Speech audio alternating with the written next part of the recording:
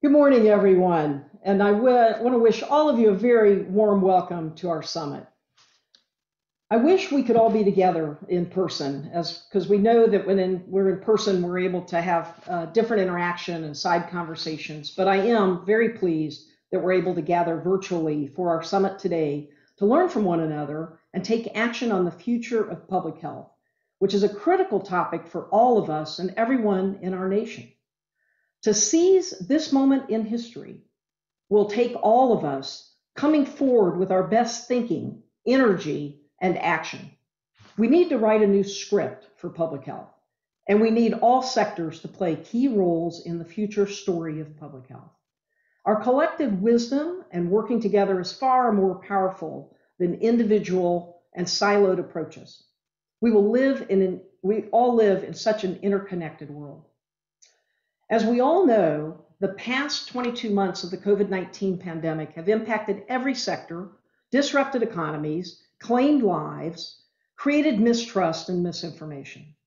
The pandemic laid stark the inequities and the negative impact of long-standing structural racism. Throughout the pandemic, we have also seen public health heroes emerge. During this time, we've been in the midst of the most dangerous health threat the world has seen in 100 years, and the public health community has done has really been heroic in their actions. And often their work has been unrecognized. Our nation owes our public health workers a debt of gratitude. Of course, over the long trajectory of the pandemic, knowledge and guidance have continued to evolve as more has been learned about this novel health threat. That changing knowledge and evolving guidance have created frustrations, from the public, and in turn, we have seen pushback against not only public health guidance, but distressingly against our public health community. And the pandemic has occurred during the difficult confluence of challenging long term social issues coming to a head in an incredibly polarized political environment. One tangible effect has been a wave of public health professionals leaving the profession, both at the leadership level as well as at the general staff level. These departures are on top of a distressing trend, which the Trust for America's Health earlier this year put into a broader context when they said under resourced, understaffed, and overburdened health agencies responded to a major pandemic with inadequate systems and the country's long-standing failure to invest in diverse prevention, uh, in disease prevention, address the root causes of poor health, and promote health equity made the nation less resilient. As the United States emerges from the pandemic, this time the nation must use lessons learned to build a world class, standing ready public health infrastructure and workforce with adequate and sustained funding. Least any US resident ever again experience a year like the one in the past. Their report goes on to describe how the country spent $3.8 trillion on health in 2019, but with just 2.6% of that funding directed toward public health and prevention, the smallest share since at least 2000. As you all know, the public health system has gone through spells of underinvestment with increased but delayed funding when emergencies arise. Staffing has been another critical need in health departments, and we'll hear much more about this challenge in today's sessions, as well as action-oriented approaches for how we can address it. The needs of a robust public health workforce are diverse, and they span from highly technical laboratory and data analytical skills to the deep knowledge of communities and lived experience of community health workers and promotores. While we cannot change the past, I'm pleased to see that today we're seeing significant funding come into the public health profession. It is now incumbent on the field, working with our elected officials, community partners, businesses, and the public we serve, to ensure the funding is strategically deployed to ensure solid footing for public health going forward. This footing will also help us collectively ensure the health, safety, and security for all Americans and contribute to the health of people around the world. So, as we look to a future state of public health, it's important to collectively consider what changes are needed to ensure that we are not only better prepared for the next pandemic, but that we are adequately positioned to elevate prevention as well as address the challenging health conditions that threaten our people, including those who are at most risk to ensure everyone has a chance for a healthy future. That leads me to today's summit and the other three upcoming summits as part of our Lights Camera Action, the Future of Public Health National Summit Series. The CDC Foundation is pleased to host these summits with ASTHO, NACCHO, and the Big Cities Health Coalition. Now, you may be wondering, what does Lights Camera Action have to do with the future of public health? So glad that you asked. The lights represent the guiding lights from research and thought leadership, such as Public Health 3.0 and other work, including the recent report from the Bipartisan Policy Center released just last week titled Public Health Forward. Lights are also exemplars in the field, in practice and policy. The camera represents the view of public health through the lens of the pandemic and the loss of trust, emphasizing the need for the United States to refocus the camera and create trust and a positive movement to rebuild and transform public health. The camera also emphasizes the need for all public health work to be seen through an equity lens. Action includes our local, state, tribal, and national steps that public health officials can take to address the issues illuminated by the lights and captured through the camera. Today, we can write a new script and produce a new future for public health. So, in that spirit of working together, I want to recognize our partners, United Health Foundation and the Robert Wood Johnson Foundation, both of which are stepping forward to provide initial support for the Lights Camera Action Summit series and help catalyze actions needed to propel a positive movement that rebuilds confidence, fosters health equity, and transforms our nation's public health system. Tomorrow, the United Health Foundation will release their latest America's Health Rankings report. Data from this report emphasize how it takes a variety of different types of organizations and sectors, from government, communities, business, and philanthropy, all coming together to meet our health challenges.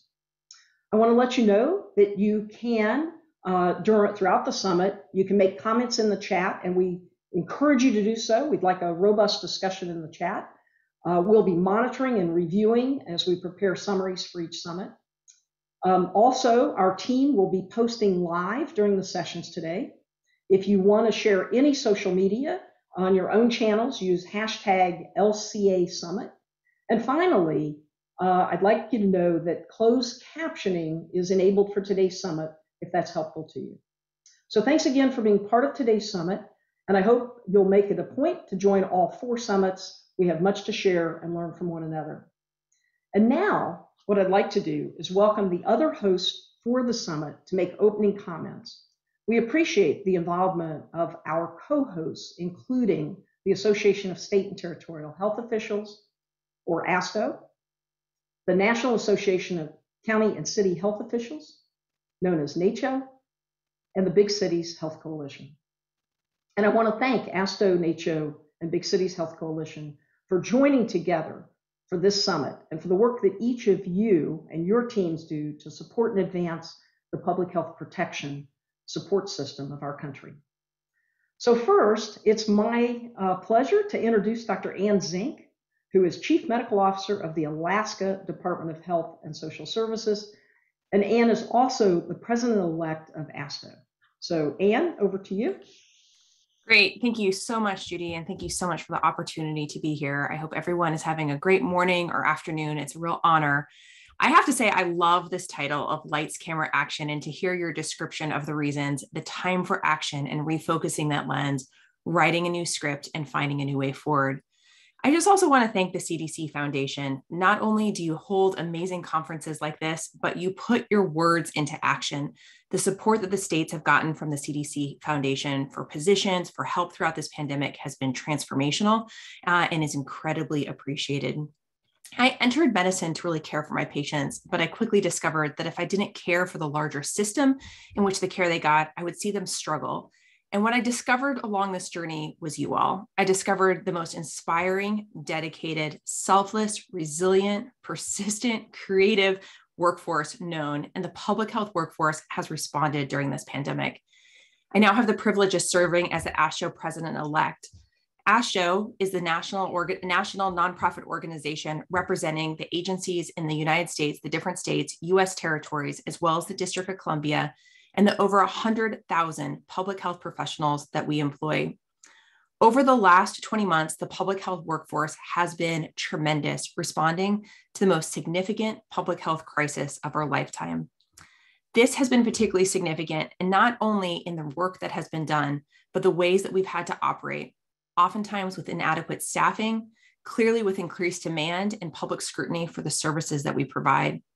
The challenges that we have been facing regarding turnover, recruitment, the tools that we need to do our work, and engaging and supporting staff have remained have been insurmountable at times. Turnover is real. It creates less capacity, gaps in institutional knowledge, voids the direction and continuity, and a possible loss of relationships with many key stakeholders and partners. Since just January 2020, over 30 states and territories have left, have had their key health official leave their position, either voluntarily or being fired, many citing backlash from public health officials and for their policy and actions. And other agency leads, leadership positions are also oftentimes being vacated, including deputies, communicable disease directors, lab directors, immunization directors, state legislative leads, and more. There are many reasons that they cite for this. And I think it's important to emphasize that the burnout that they feel is not a failure for them, it's a failure in our system in the way that we support public health and it's exciting to think about the ways that we're going to be able to improve that system. Positions which are specialized in education or skills are needed to fill that capacity. For example, epidemiologists are in demand. They can oftentimes work more for other positions, but finding ways to have them engage in the incredibly important work of state, local, and territorial uh, uh, public health work is absolutely incredible. Like so many things, COVID 19 has really emphasized our need to bolster and support our existing and burnt out workforce we need to do some short term solutions. First of all, working to ensure a culture of inclusion and belonging for all. Second of all, recruiting new workers with essential skills to ensure they represent the communities that we serve. Third, improving our systems to make it easier to work within governmental agencies. And fourth, truly giving them the tools that they need to do their job instead of asking them to do more without the tools that they're needed. And then long term, having better projections of the workforce in the future, investing in new pipelines for a wide range of public health positions with the tools that they need to do their job. There's a quote by Mary Kay, and she said, People are definitely the company's greatest asset. It doesn't make any difference whether the product is cars or cosmetics. A company is only as good as the people it keeps. And I would say that the same is true with public health. Our workforce is our essential tool, and we're only as good as the people we keep. So I'm excited about this opportunity to participate in today's summit, to engage virtually in meaningful conversations about the public health workforce, the actions we must take, the lenses we need to refocus, how we can create a brighter and more productive future together. Thank you for the opportunity to be here. Thank you, Anne. Really appreciate uh, your words and the quotes. Uh, terrific. Next, uh, would like to welcome uh, Lisa Macon Harrison. Uh, Lisa is health director for the Granville Vance Public Health Department in North Carolina. And Lisa also serves as president of NACCHO. Lisa, over to you.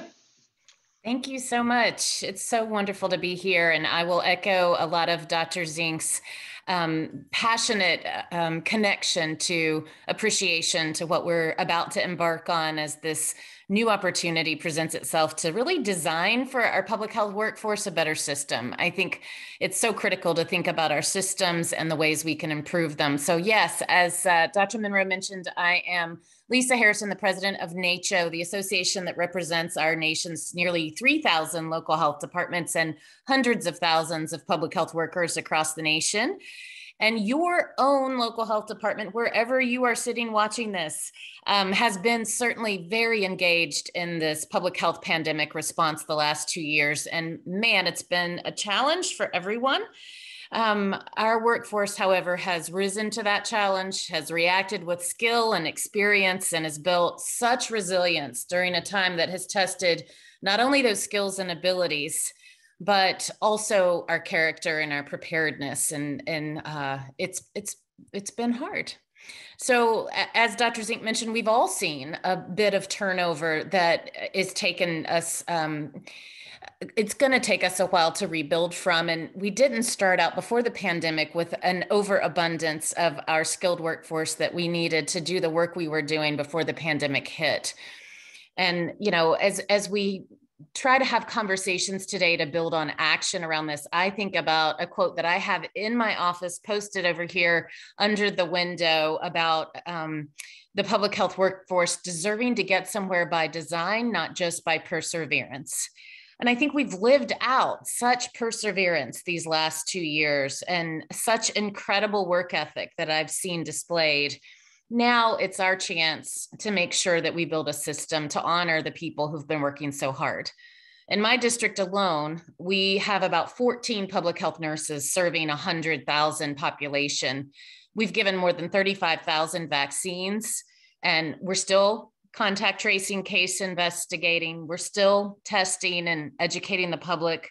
We're still consulting with schools and presenting to school boards, court systems, and businesses so that people can feel safe. And no other healthcare partners in our system of health in the United States of America have the same breadth of responsibilities we have. No other healthcare partners are in charge of communicable disease control and health related policy decisions an epidemiology or lab, quite like public health is.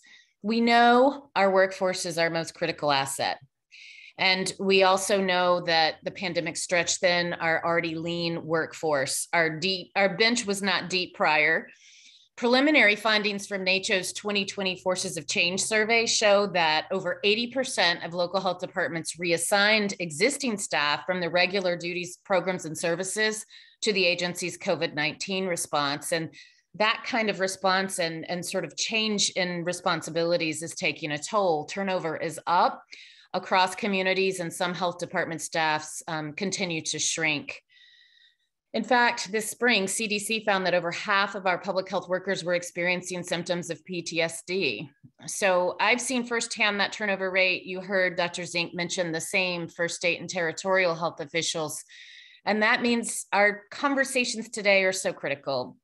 The public health workforce needs our attention, both today and in the future. And in order to build the public health workforce for the 21st century, we've got to focus on three key factors retaining our current hardworking, skilled, and experienced staff, recruiting top new talent, and expanding the workforce with predictable and sustainable funding. The challenges we face are incredible, but working together, we can make a meaningful impact to support our workforce while they support communities in which we all live. Thank you for your attention today and your attention to these issues. And I'm so appreciative we're having this conversation together. So I'll look forward to it. Thank you. Thank you, Lisa. Um, and now it's my pleasure to welcome Wilma Wooten, who is Public Health Officer of Public Health Services in the County of San Diego uh, Health and Human Services Agency and chair of the Big Cities Health Coalition. Wilma? And Judy, uh, Wilma may not be with us right now at the moment, but Christina is prepared to give her remarks. And Christina, you just need to unmute okay. your line and show your video. Great.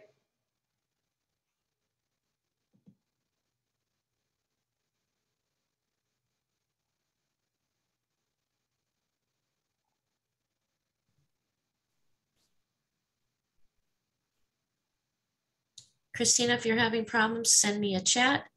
And there we are. Great. Good morning. Thank you, Judy, for that introduction. Dr. Wooten um, was held up this morning, so I'm going to share a few remarks on her behalf. I'm Chrissy Juliano, the Executive Director of the Big Cities Health Coalition. Uh, BCHC is a forum for leaders of America's largest metropolitan health departments to exchange strategies and jointly address issues to promote and protect the health and safety of the more than 60 million people our health departments serve. Um, we want to thank CDC Foundation and our partners at ASTHO and NACCHO in planning this very valuable summit and for the opportunity to um, be part of the welcome this morning. So um, Dr. Wooten was going to talk about, you know, that she has been a health officer for over 20 years in the county of San Diego. And I would say that many of our members have these long tenures. And during that time, you know, they have, and, and, uh, excuse me, they have worked with so many amazing, passionate, dedicated, hardworking individuals, many of whom, you know, whose life work really is public health and to improve the lives of others and as so many people here today know, often anonymously and behind the scenes. Um, and really, in the past 21 months, they've made so many personal sacrifices for the greater good. Um, make no mistake about it, the past two years or so, um, it's been the greatest challenge of many folks in public health their lifetime, uh, professionally and personally, because of the pandemic the reverberations and the challenges, the opportunities will really be felt for years to come. And I think that's a key point today the opportunity uh, to continue to build upon the experience of the past two years and think about what we need to do to better the public health system across the entire country and all levels of government. Um, you know, we all know that public health jurisdictions at the local, tribal, territorial, and state level could not have responded to COVID 19 as effectively without the workforce that we've had. And I know that that Dr. Wooten wanted to recognize, and I will do the same on her behalf, to really thank and acknowledge the public health workforce for all that they and you that are here on this Zoom um, have done today and will continue to do the critical work that you do. Um, I will just close by saying, you know, as we work through these summits together, we all need to make sure that policymakers, philanthropy, um, elected officials, public health leaders really understand just how vital the public health workforce is and that we need to invest in that workforce and not just with dollars, but all the other resources that we need to ensure that um, they and we can all do our jobs effectively. Um, so thank you, um, Judy. I will, I will turn it back to you. Thank you, Chrissy. And so now um, it is my honor to welcome and introduce Dr. Rochelle Walensky, who is Director of the Centers for Disease Control and Prevention. Dr. Walensky became the 19th Director of CDC and the 9th Administrator of the Agency for Toxic Substances and Disease Registry in January of this year after serving on the front line of the COVID 19 pandemic as chief of the Division of Infectious Diseases at Massachusetts General Hospital from 2017 to 2020 and professor of medicine at Harvard Medical School from 2012 to 2020. Dr. Walensky is an influential scholar whose pioneering research has helped advance the national and global response to HIV/AIDS. She is also a well respected expert on the value of testing and treatment of deadly viruses and has conducted research on vaccine delivery and strategies to reach underserved communities. Rochelle, welcome to you. I know this is an especially important topic for you and also an especially busy time. Uh, we appreciate you being with us today. Over to you. Thank you so much, Judy, um, and to all of you uh, for that kind introduction. And yes, this is near and dear to my heart and so very critically important. I really want to thank the CDC Foundation for convening this series of meetings on the public health of our future, a topic that's been on my mind long before I was arriving at the CDC. Uh, as you noted, you may know that the story of how I came to public health I was a resident in Baltimore at the height of another grim period in public health, and that is the HIV AIDS pandemic. And that I realized that in public health, you could reach an entire population in, at a time, and that with science, and you could do so through science informed policy. In the decades after, I worked alongside public health professionals to improve the lives of those living and at risk with HIV and uh, sharing their concerns as their funding was cut and their needs were ignored. I'm sure that all of you know the statistics from a pre pandemic study that found that over the past decade, the public health workforce has shrunk by nearly 60,000 positions primarily due to stagnant or decreased funding. And we're here today because we agree. We never again want to see public health in the position we were at at the start of this current pandemic. With my appointment as CDC director now almost a year ago, came a platform to talk about what it will take to create a strong, diverse public health workforce. And that platform has included six opportunities to address Congress on this very topic. And I think I have another one about to happen. We have acutely felt every single one of the public health jobs we have lost. And while the pandemic demonstrated the resilience and, and commitment of the public health community, it also laid bare the gaps resulting from the decades long erosion of workforce support. We recognize that the heart of the public health system is, in fact, its workforce. We need the right people in the right place with the right training at the right time to protect Americans from public health threats. Without the right people, laboratories are just rooms of equipment. And without the right infrastructure, public health data are just numbers on a page. And without the right coordination, vaccines and other life saving interventions simply sit on a shelf.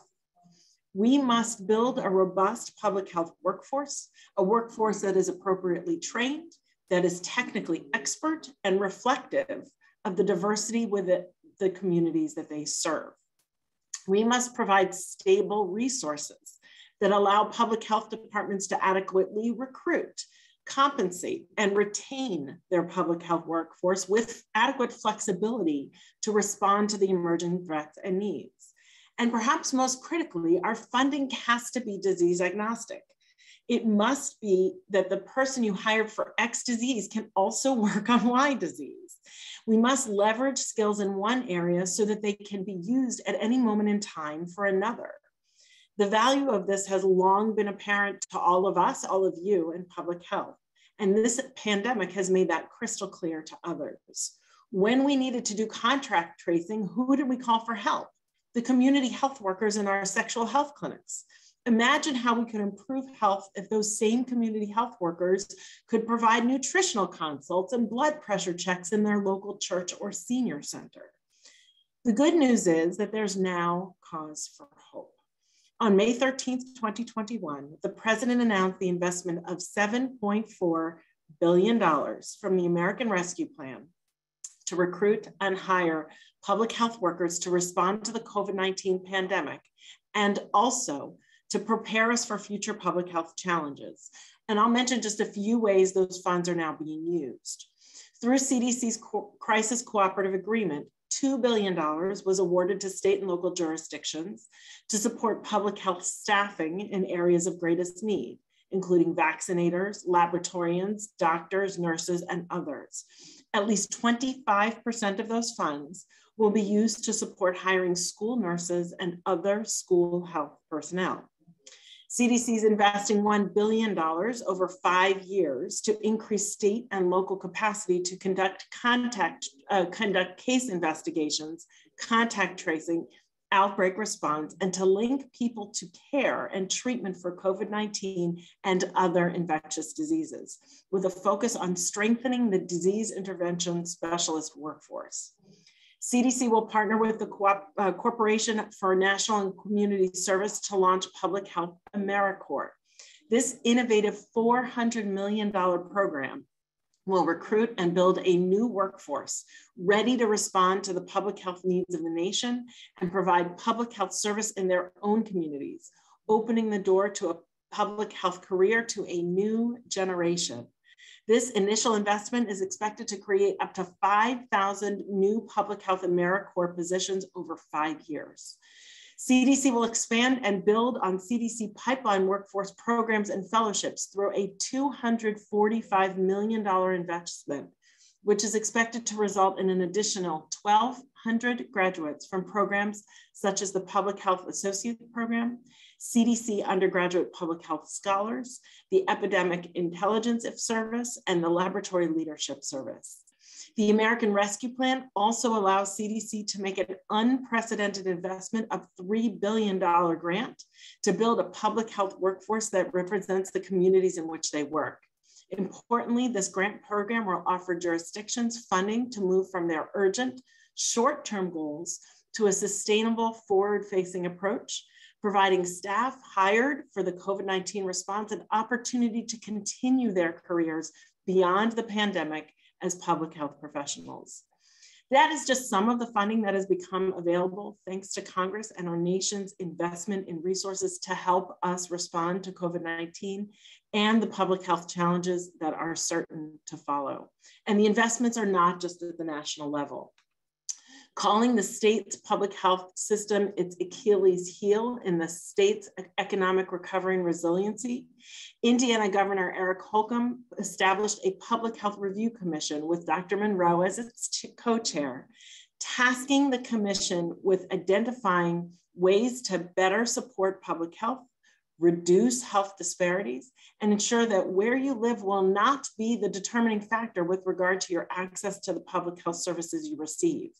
The governor asked that their recommendations be ready for consideration by the Indiana General Assembly ahead of the 2023 state budgeting process. The North Carolina Institute of Medicine created a task force on the future of local public health, which is being co-chaired by Dr. Leah Devlin chair of the board of the CDC Foundation and professor at the University of North Carolina, Chapel Hill, along with Lisa Macon Harrison of Granville Vance Public Health and president of the National Association of County and City Health Officials. And you just heard from Ms. Harrison. John Lumpkin, president of the Blue Cross Blue Shield of North Carolina Foundation, and Vicki Lee Parker High, executive director of the North Carolina Business Council. Their charge is to develop a vision for the public of the future of local public health in the state and the recommendations it will take to achieve that vision. The work of the task force is happening in conjunction with a special initiative of the North Carolina Association of Local Health Directors to improve the visibility and influence the public health as a critical part of the state's healthcare delivery safety net infrastructure supported by a grant from the Kate B. Reynolds Charitable Trust. And the Hudson College of Public Health of the University of Oklahoma launched the Achieving a Health Oklahoma initiative and has gathered community leaders to develop policy recommendations that will help Oklahoma prepare for future public health emergencies and improve the health of the citizens of the state. The hope is that this proactive approach will lead to an expansion of public health infrastructure and workforce, strengthened partnerships at the federal, state, and local public health agencies, evidence-based policy development, and a reduction in health disparities.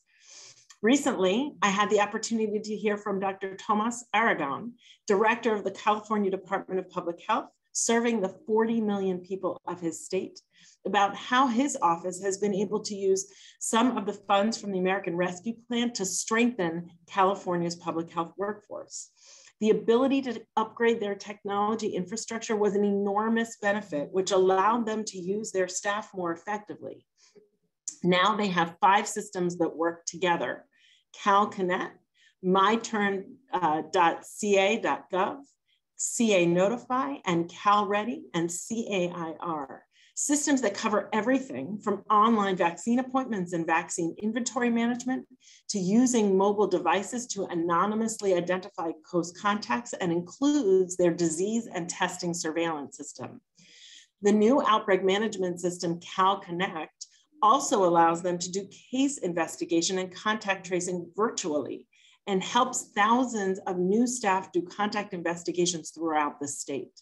They even created what they call a virtual assistant within the system so that when they there were surges, some investigations could be automated through texting, allowing staff investigations to focus on the more difficult cases. It also allows for cross-jurisdictional case management and contact tracing. Say, for example, when a person walks in one county, works in one county, but lives in another. At the end of the geographic spectrum, Robert Kirkpatrick of the Milam County Health Department in Texas, population of 25,000, has been able to grow the department's 10 employees to 18, which gave them staffing to conduct 4,000 case studies, an increase of 3,700 over what they would have been able to do before the additional funding. They were able to implement and conduct approximately 4,000 COVID tests and to increase their capacity to provide vaccinations, scaling up from providing 1,000 vaccinations per year to being able to provide 10,000 vaccinations, critically important once COVID hit. The increased capacity was vital to the county's COVID's response as the two hospitals in Milam County closed in, 2000, in December 2018. As we think about a diverse and effective public health workforce, we must remember that resiliency is a key factor. An underfunded, understaffed, underappreciated, and misunderstood public health workforce, with public health officials often attacked verbally and sometimes physically, deserves our collective attention to promote healing and recovery. You are welcome today to today's summit by Dr. Anne Zink, Chief Medical Officer for the Alaska Department of Public Health. Just a few weeks ago, I heard her say, our public health workforce needs to hear from us that their frustration and feeling of being burned out is not their failure, but our failure to have a system that supports their humanity and diversity. And Dr. Zink added, sometimes just offering a simple thank you makes a huge difference. In today's summit, you will hear from more public health leaders about what has been successful for, for them and where there is still much work to be done. Federal dollars can only go so far. How are states and local governments supporting building an infrastructure that is diverse and effective public health workforce? And how are we making sure that equity is at the underpinning of every single thing we do? And I hope there will be conversations about how we will measure our success.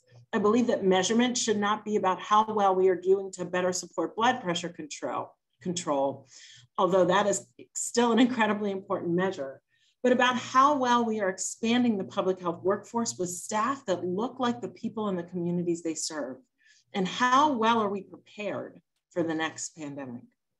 I believe this summit is an opportunity for us to renew our energy for the work that lies ahead. It's a very real pleasure to be with you today among those who are working every single day to build a better health infrastructure for our country. Let me extend my gratitude to each and every one of you, our nation's public health community, for your continued support and indeed for your tireless efforts. We are looking forward to chart a course for our future so that together we can build back a healthier and a safer nation. Please know that CDC and I am committed to being your partner in this work. Um, and I really look forward to learning all that you have. Thank you so much. Thank you for your leadership, Dr. Walensky. Uh, and we all look forward to working with you as we strive to develop actionable approaches to enhancing our public health workforce help protect America's health, safety, and security. So thank you so much. So we're going to uh, make a little switch here and go to a poll question to get the audience uh, uh, interaction here. Uh, so if you all could answer uh, this poll quickly, uh, who have, the question is, who have you had success um, with in moving your public health agenda forward by working with intermediaries or others such as public health institutes, foundation, or academia? That's the question, um, and you can select all that apply. And we'll give this a moment, and then um, we're going to put the uh, results up uh, momentarily.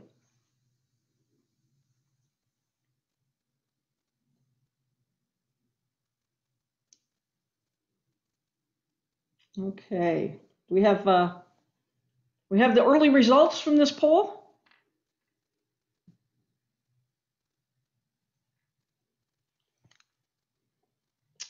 And here we go. So um, look at this. So the, the lead actually is uh, local, state, and regional foundations. Uh, has a, a, little bit of a lead over academia, um, and then uh, pretty even between public health institutes and national foundations. So uh, really goes to show uh, the importance of all of these, I think, with this distribution, uh, but certainly what's happening uh, in your in your own uh, areas.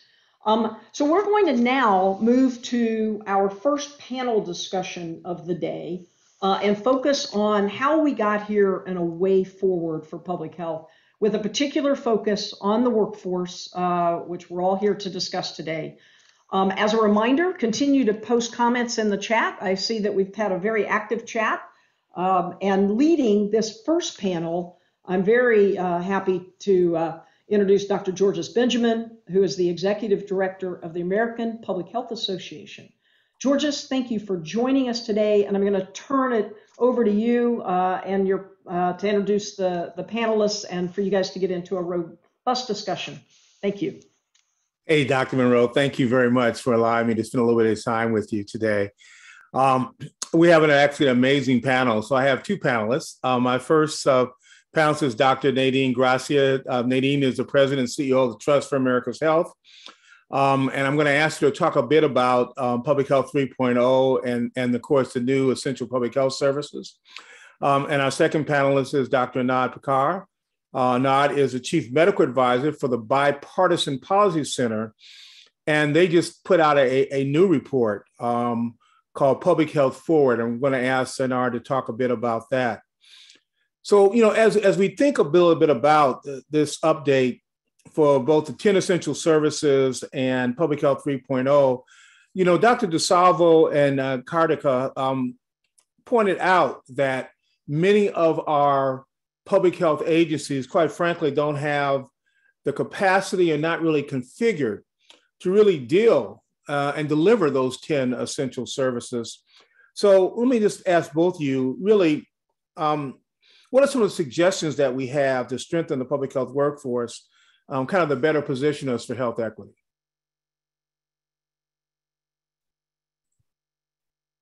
Georges, would you like me to start?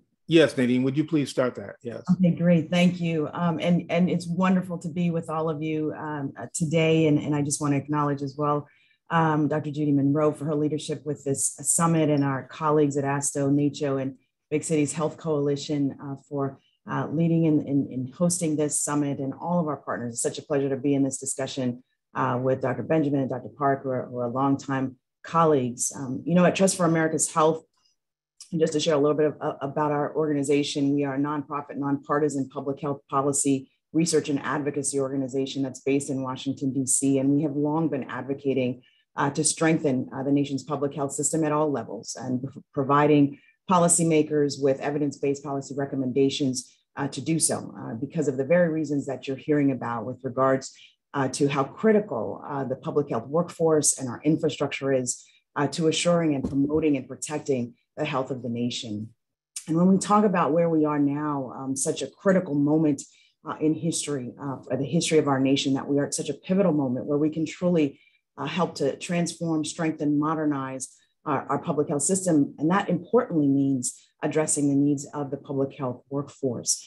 Um, George, as you talked about specifically with regards to Public Health 3.0 and, and um, certainly some of the efforts with regards to where we are uh, in, in seeing public health uh, being able to address cross-sectoral issues, uh, as you noted with regards to the capacities and the resources, uh, because we know that our health is impacted uh, not only by the care that we receive uh, in, in, the, in a physician's office or at the hospital, um, but by the community conditions and social, economic, and environmental conditions. And so with regards to that, it means that we have to focus on leadership and workforce, the workforce and ensuring the recruitment and retention of a diverse and inclusive workforce uh, that has the capacities and competencies to address 21st century public health challenges, uh, that we need to have those competencies to be able to address and engage in cross-sectoral partnerships and strategic partnerships uh, that cut across a whole host of sectors that I'm sure we'll talk about today, uh, as well as the infrastructure uh, and organizational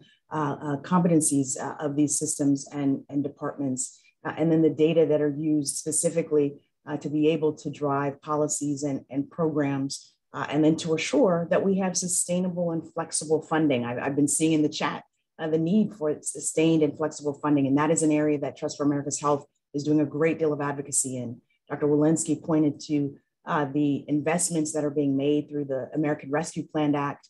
There are the opportunities for investment as well in the public health workforce through the Build Back Better Act, which is currently uh, being deliberated in Congress. Uh, we at, at, Trust for America's Health, commonly known as TFAH, are advocating for long-term investment in public health infrastructure and workforce through the creation of a public health infrastructure fund, uh, an annual $4.5 billion fund that would support long-term cross-sectional or cross, uh, cross capabilities to support health systems, public health systems at all levels, at the federal, state, local, and territorial uh, systems and tribal system, health systems to assure that we have the workforce that can meet these 21st century needs. Absolutely. No, you, you folks, your report also picked up and talked a great deal about workforce.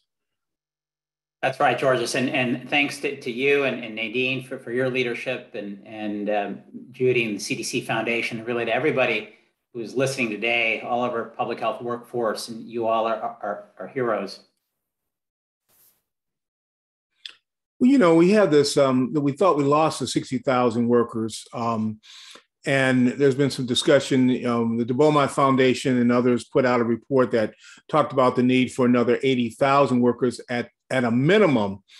Uh, it's, it's, clear that we don't need the same kind of workers as we go forward. Um, we need to really try to build the system right.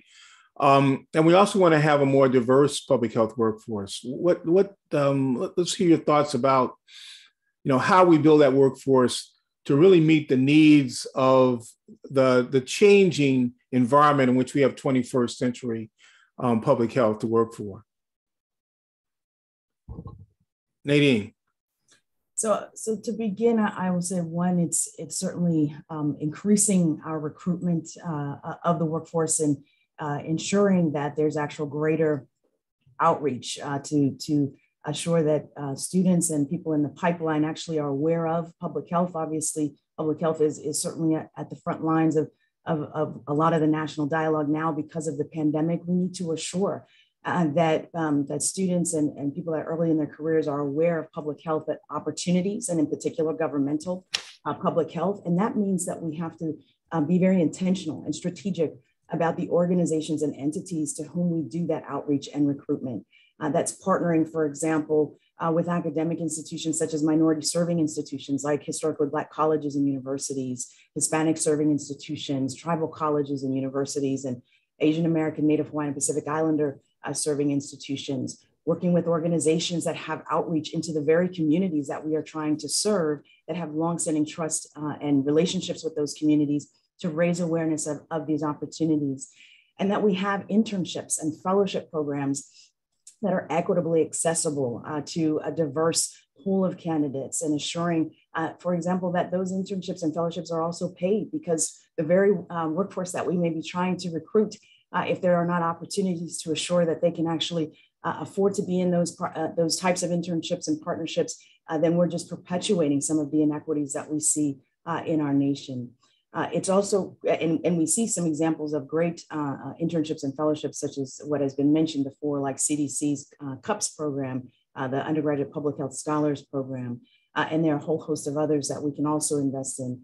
And we have to ensure that it's, it's not only public health, but other sectors that are seeing this as an imperative and working to address this. It's academia, it's the business sector, uh, and certainly it is public health and healthcare, but also in philanthropy and nonprofit organizations uh, that we assure that we increase uh, that outreach and engagement and, and with regards to retention, build the skills, provide the network uh, and support an inclusive and welcoming environment uh, to a diverse workforce. You know, recently ASTHO uh, partnered, uh, has partnered with the Satcher Health Leadership Institute at Morehouse School of Medicine with support from, from CDC to launch a diverse executives in leading in public health, a DELPH initiative, which is, aims just to do that, strengthen those the, the capacity the, and the network, uh, especially for public health professionals who are at mid-career, to be able to expand their opportunities. Uh, because one of the strongest things that we can do with regards to, in particular, addressing health inequities is also to strengthen the diversity of our governance and leadership when it comes to our, our governmental public health system. Thank you. I'm going to go back to Anand. I know he was talking about the um, his report, and um, obviously the idea of, of, of, building a workforce a little differently than we've talked about in the past. Yeah, th- that's right, George. So, sorry about that uh, technical um, difficulty there. Uh, you know, I think over the last six or eight months in Washington, D.C., the buzzword has been infrastructure. And we hear about roads, bridges, tunnels of the electric grid, water, um, energy. uh, we've heard about just about everything. And uh, I, think it's time um, that, that we communicate uh, to the nation as well as policymakers that if public health isn't part of our nation's infrastructure, I don't know what is. It's, it's exactly what uh, everyone takes for granted, and yet uh, it's necessary to assure the conditions that populations can be healthy. And as it as as I think Nadine said, uh, you know there there is a potential down payment in terms of the public health infrastructure in the Build Back Better legislation. Uh, and I think when we talk about public health infrastructure, what we're really talking about the most important aspect is investing in people and investing in our workforce. That's exactly what's needed to, to ensure public health capabilities uh, occur to ensure that our, our public health foundational areas, uh, the work of public health is done. Um, and that was really the essence, um, and George, as you mentioned this, of, of, what was released last week by a bipartisan task force uh, of, the, of the Bipartisan Policy Center, our Public Health Forward Task Force. This was a group uh, of local, state, and federal current and elected officials who came together, as, as well as multi-sectoral leaders, who came together and said, let's chart a five-year vision for governmental public health in, in the United States and an actionable framework for, for state and local elected officials and public health officials. And this was work done over the last nine months, uh, which really included all of you uh, through focus groups and surveys and town halls and roundtables uh, and advisory group meetings.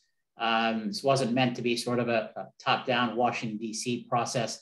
Uh, and I think what was put together last week included some high level recommendations, uh, some of which focused on workforce, exactly the ideas uh, that Dr. Gracia just talked about related to recruitment and retention, doing assessments and, and building pipelines, um, as well uh, as then improving hiring and promotion and, and, competitive pay and merit pay and building learning environments. So many of the things that, that you've heard about that you'll be discussing uh, today is exactly where this bipartisan public health task force came out. And, and I think as we think about leveraging the investments that are that are coming our way from the American Rescue Act as well as COVID relief dollars, I think that that's important.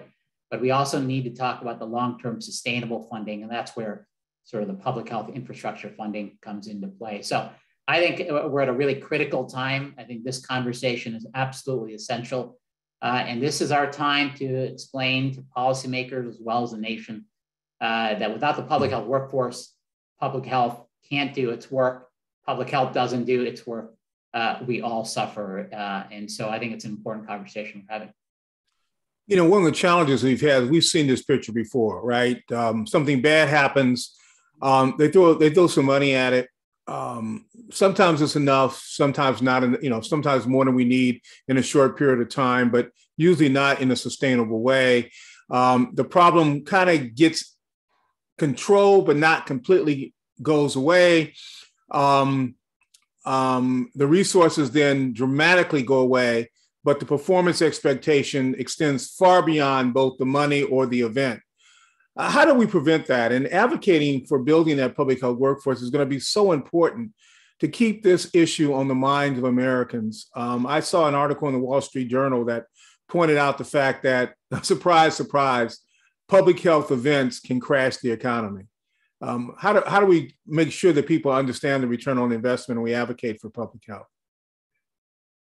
So, Georges, I think you you you know you highlighted um, such a key issue it, it, that boom and bust cycle of, of funding, right? That the, the emergency happens, the crisis happens, you get the influx of funding, and then after the emergency, it's directed elsewhere or the funding ends. And, and so I think that's a, a critical reason why, you know, in our each year in our annual uh, funding report, we are advocating uh, specifically that we need long-term investment uh, in public health infrastructure, and that that entails, as, as we're talking about, um, these cross capabilities, these public health foundational capabilities uh, that are, are, not specifically categorical funding for specific diseases, which are important, uh, but are not sufficient to be able to build the foundation of public health that we need to, to assure that we have the assessment and surveillance, to assure that we have the communications capacity, uh, the, the community partnerships and the policy development that is going to be needed. And so while we have these uh, current le legislative efforts that are underway that are important to providing that down payment, we have to continue to advocate at all levels uh, to be to be clear that when we make these investments in public health, that that actually is, is a is a benefit not only to the health of communities, but it also is an economic imperative, as we're seeing as an example through uh, through this pandemic. That it's also addressing the inequities that we have long seen uh, in our country, and to know that the the messengers don't always have to be the public health officials, but we also need to be able to in, in, in, uh, encompass other leaders who can be able to speak uh, to the importance of building and strengthening uh, the public health system and serving as partners in that regard.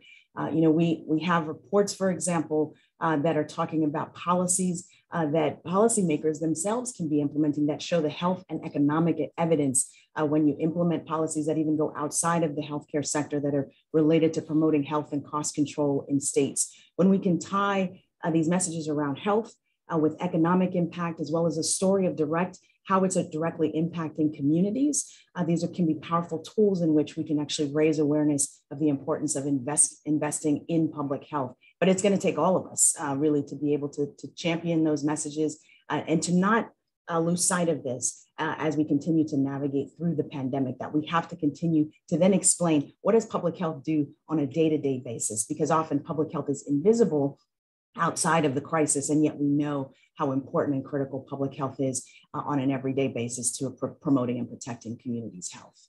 Absolutely, absolutely.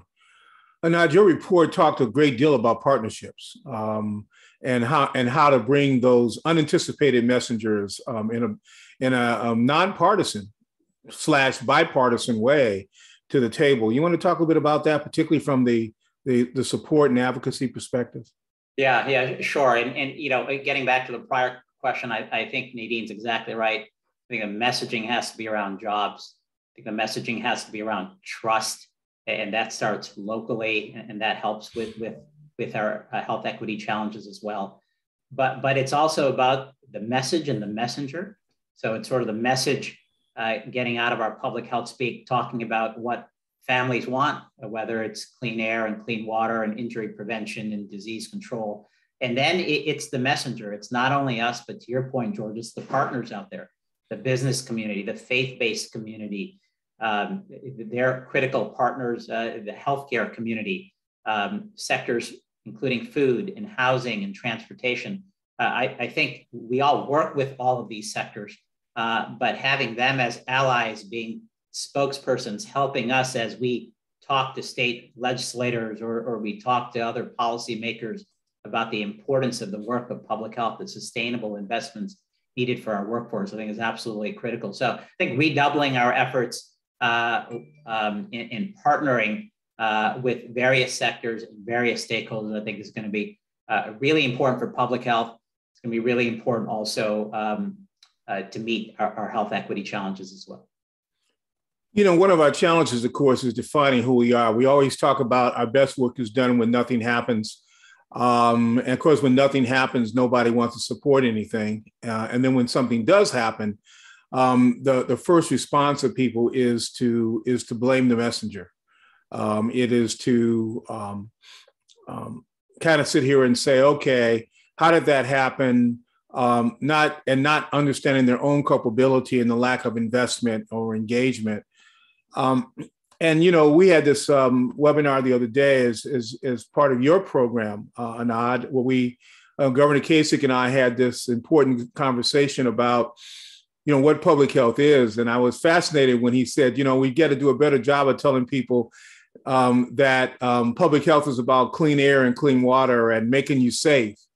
Um, you know, how do we get the messaging right? Because at the end of the day, I think we all used to chuckle about the fact that we were all in public health, but even our family members didn't know what we did. Yeah, no, I, I think I think it's great, uh, a great question, and um, it reminds us, uh, and I've said this before, um, very elementary, which was told to me, uh, first of four assistant secretaries of health who I worked under, that public health is made up of two words, and we focus a lot on the health part as we should the evidence, the science, the interventions, the implementation.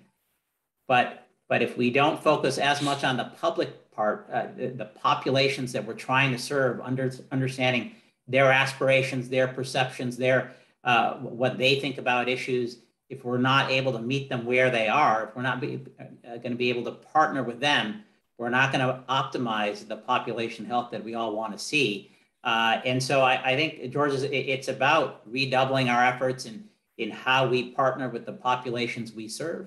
Uh, and uh, it's not what you do with communities. It's uh, it's not what you do for communities. What you do with communities. Um, and then I think it's also making sure as we talk to policymakers and others and partners, uh, explaining what what it is public health does uh, in a way that people can understand. So I know this has been a, a, perennial issue, but but certainly I think.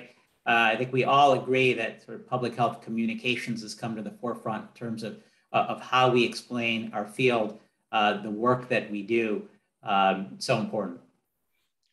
And you know, I, I know that um, um, Nadine Trust uh, for America's Health, um, and I know APHA, and the, we've partnered on lots of things to to really, you know, we do sign-on letters and we advocate together, and we've gotten a whole range of big coalitions to um, to call in, knock on doors on the Hill, um, and now that we're doing everything virtually, virtually to engage members um, of Congress and other elected officials, but it doesn't seem to be that's enough. Um, you know, what's what's the next phase of our of our work here? What do we what do we need to do to to have the the clout that um, when uh, public health speaks, they all listen? Um, you know, without you know, I, I'm at the point in many ways of saying "I told you so." um, when we when we talk about the return on the investment and the crashing of the economy, because COVID certainly has been an equal opportunity um, disease. So, so Georges, you, I mean, you raise an important point because we say we we've been here before. Obviously, this is this is an emergency and a, a global pandemic uh, that is is unprecedented, you know, in a century's time. Uh, but we have been through these emergencies before, and it's it's critically important that we continue to engage in that advocacy and share the data, share the evidence, but also bring the story and bring the narrative that, that can, can, can help to compel action. Um, but I'll, I'll uh, tie back to some points that, that Anand had raised with regards to the messengers uh, and the importance of communications. Uh, one is to recognize uh, that we should also involve as, as far as those strategic partners are the communications experts, because even as we've been communicating through this pandemic, uh, we recognize how information can be misconstrued, how to assure that information is actually uh, being conveyed in a way that it reaches the people that we're trying to reach and understand um, the, that it to assure that it's culturally appropriate, that it's linguistically appropriate. The same goes with regards to really explaining who public health is and why it's so important that we have a strong and robust public health system, uh, which is inclusive of having a diverse uh, workforce uh, that's sitting down with community and community leaders and faith leaders, uh, uh, you know, other organizations who have trust in communities that also do that type of direct engagement and advocacy with leaders, with, uh, with legislators, with other policymakers and decision makers, uh, with the business community, with healthcare system leaders and others, uh, to really be able to, to build that kind of a narrative that shows that when public health suffers, the nation suffer, communities suffer. And you see what we're seeing now within the context of the pandemic, and that there will be another emergency unless we actually address uh, the, the gaps in the weakened infrastructure and ensure that we have a strong and robust public health workforce. When we face another emergency, we will say, see the same challenges that we are experiencing now in the context of the pandemic. You know, one of the things we now know is that um, public health, of course, we do our work, quite frankly, through policy change. I mean, our, our best work is also done when we make great policy change. Um, but policy is politics. It becomes very political very quickly. And, you know, we often say, well, we, we really don't want to play the political game, but we have to work in a political environment. We have to understand, I think, um, how to work in that political environment and maintain the respect and trust of all of the people that both um, provide us oversight, our elected officials, our bosses, uh, as well as the public. How do we make sure that we have a workforce as we go forward a, of this now we've identified a highly charged political environment? How do we build that workforce in a way that we maintain our trust and respect? Um, and of course, you know, put the public back into public health because the only reason we do what we do is to, to make sure people are healthy and that the public gets the best out of what we do.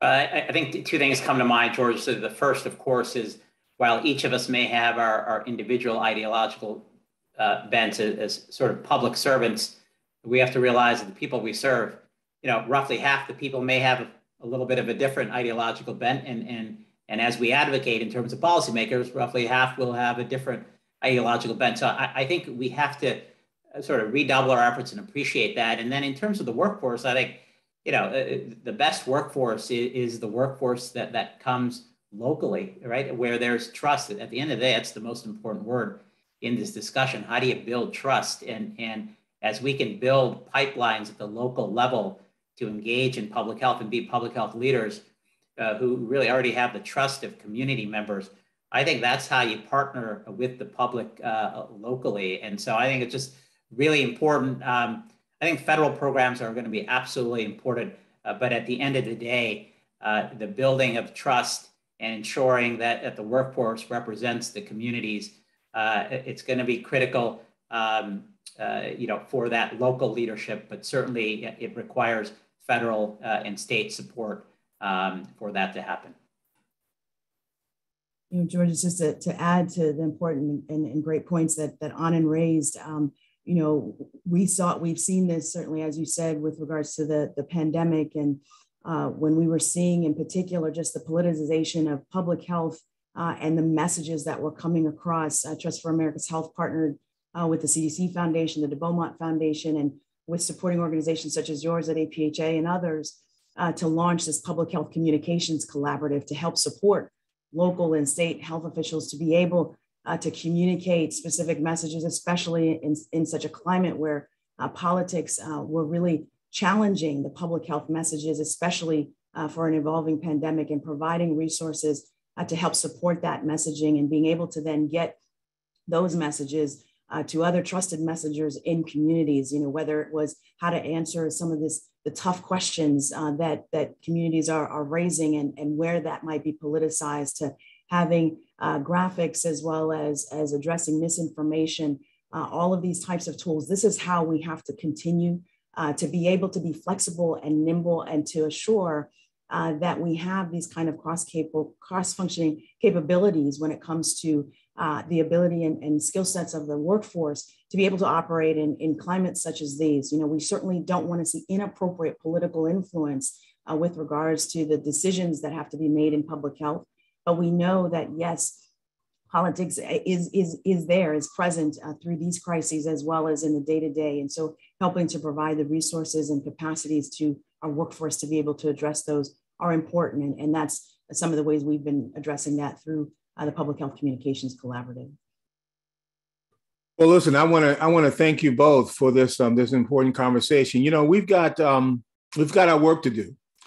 Uh, we know that we um, um, have lost over 60,000 workers, that we need more than 80,000 workers as we go forward.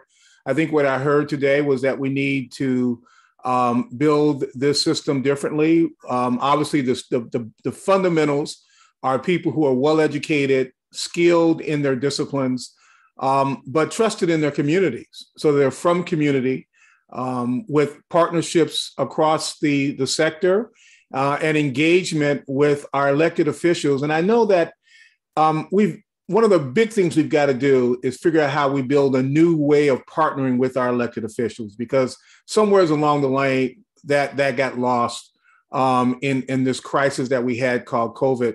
So I would also encourage all of us to to to spend some time just listening more than talking uh, and engaging with um, our elected officials uh, across the political spectrum um, so that we have a joint mission, because at the end of the day, our goal is to ultimately protect the public's health.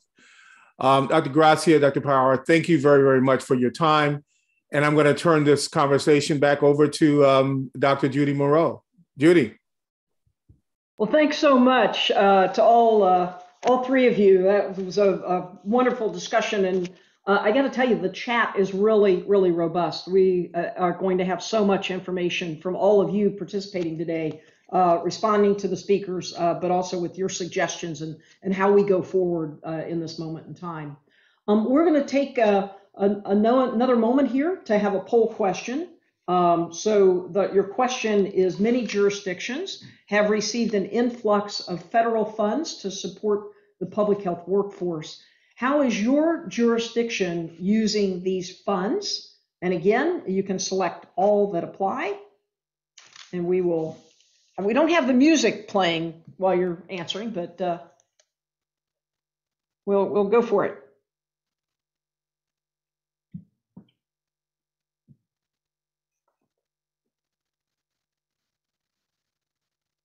And we should have the, re- at least the early results here. Have folks voted and we ready to take a peek?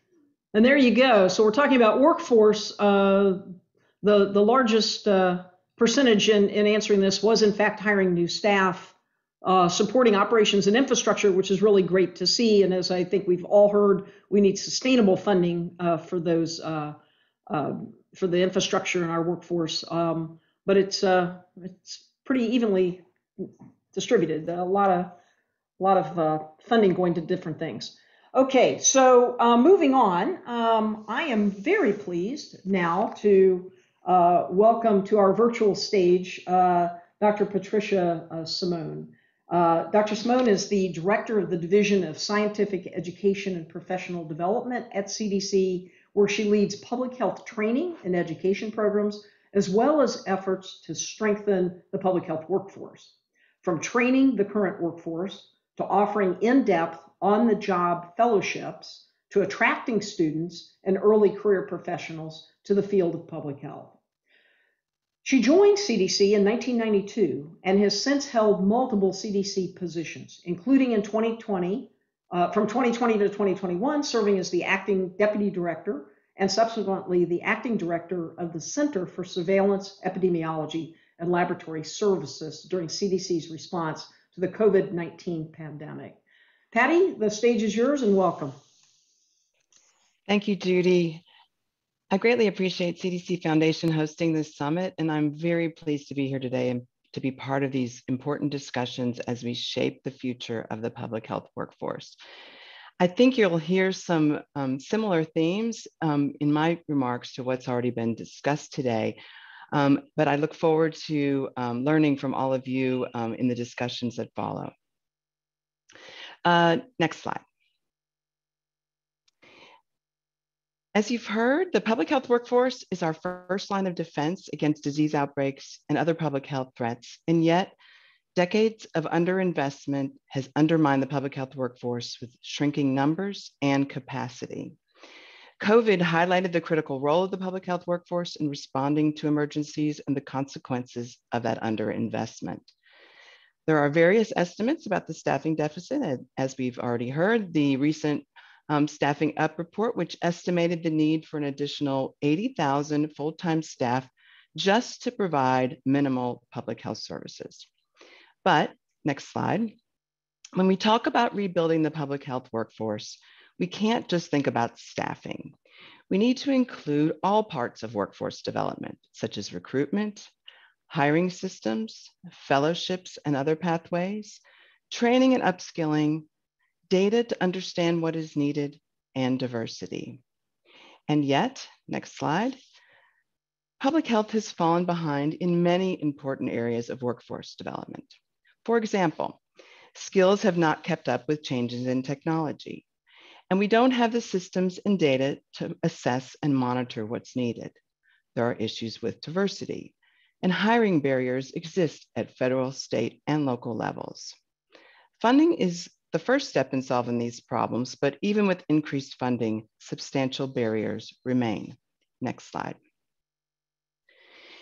The American Rescue Plan specifically addresses expanding the public health workforce. The ARP policy announced in January proposed expanding the public health workforce by 100,000 to address the needs of COVID and build long-term capacity. The legislation passed in March provided $7.66 billion to the Department of Health and Human Services for expanding the public health workforce. Some of these funds have been allotted to CDC. Next slide. We are now at a critical juncture and looking forward, we have a great opportunity to make important progress in workforce development.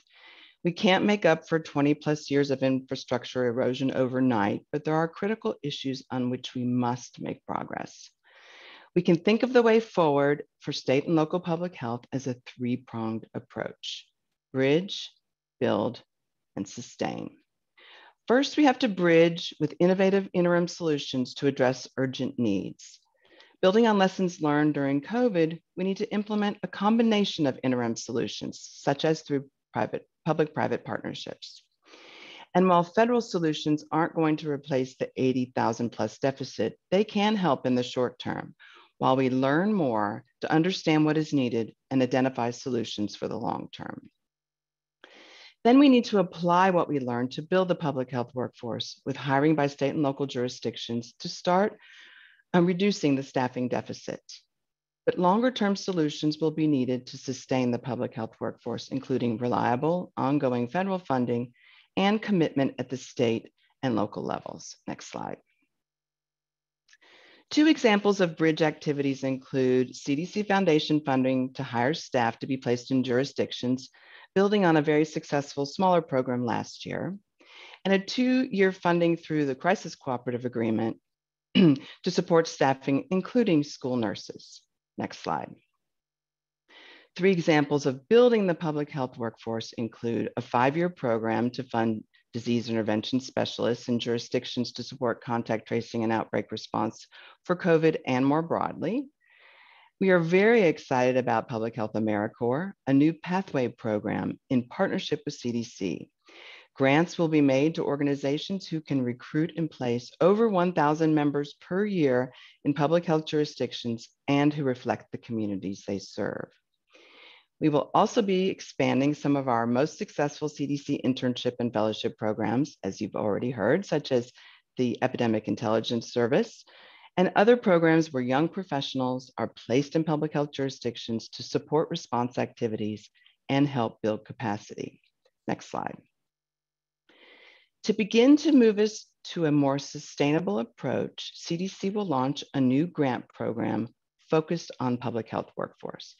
This is a unique opportunity to address workforce needs broadly across the jurisdiction rather than categorically by disease um, or uh, being now disease agnostic, as Dr. Walensky said. there will be a focus on building a workforce that represents the communities they serve. We are beginning to schedule listening sessions to get input from jurisdictions and other partners to inform the design and focus to make sure this program will be successful. And I will talk more about that in a moment. I also want to emphasize that rebuilding and sustaining the public health workforce can't rely on federal funding alone.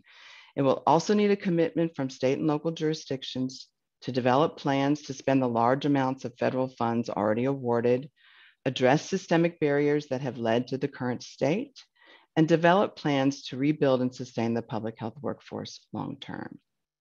Next slide. We are at a time of great opportunity. There is a lot of funding, but now we have to deliver. It is not as simple as having money to hire. We need to modernize antiquated hiring systems and conduct comprehensive workforce planning. We need to focus on professional development, mentorship, and training for the needed strategic and technical skills.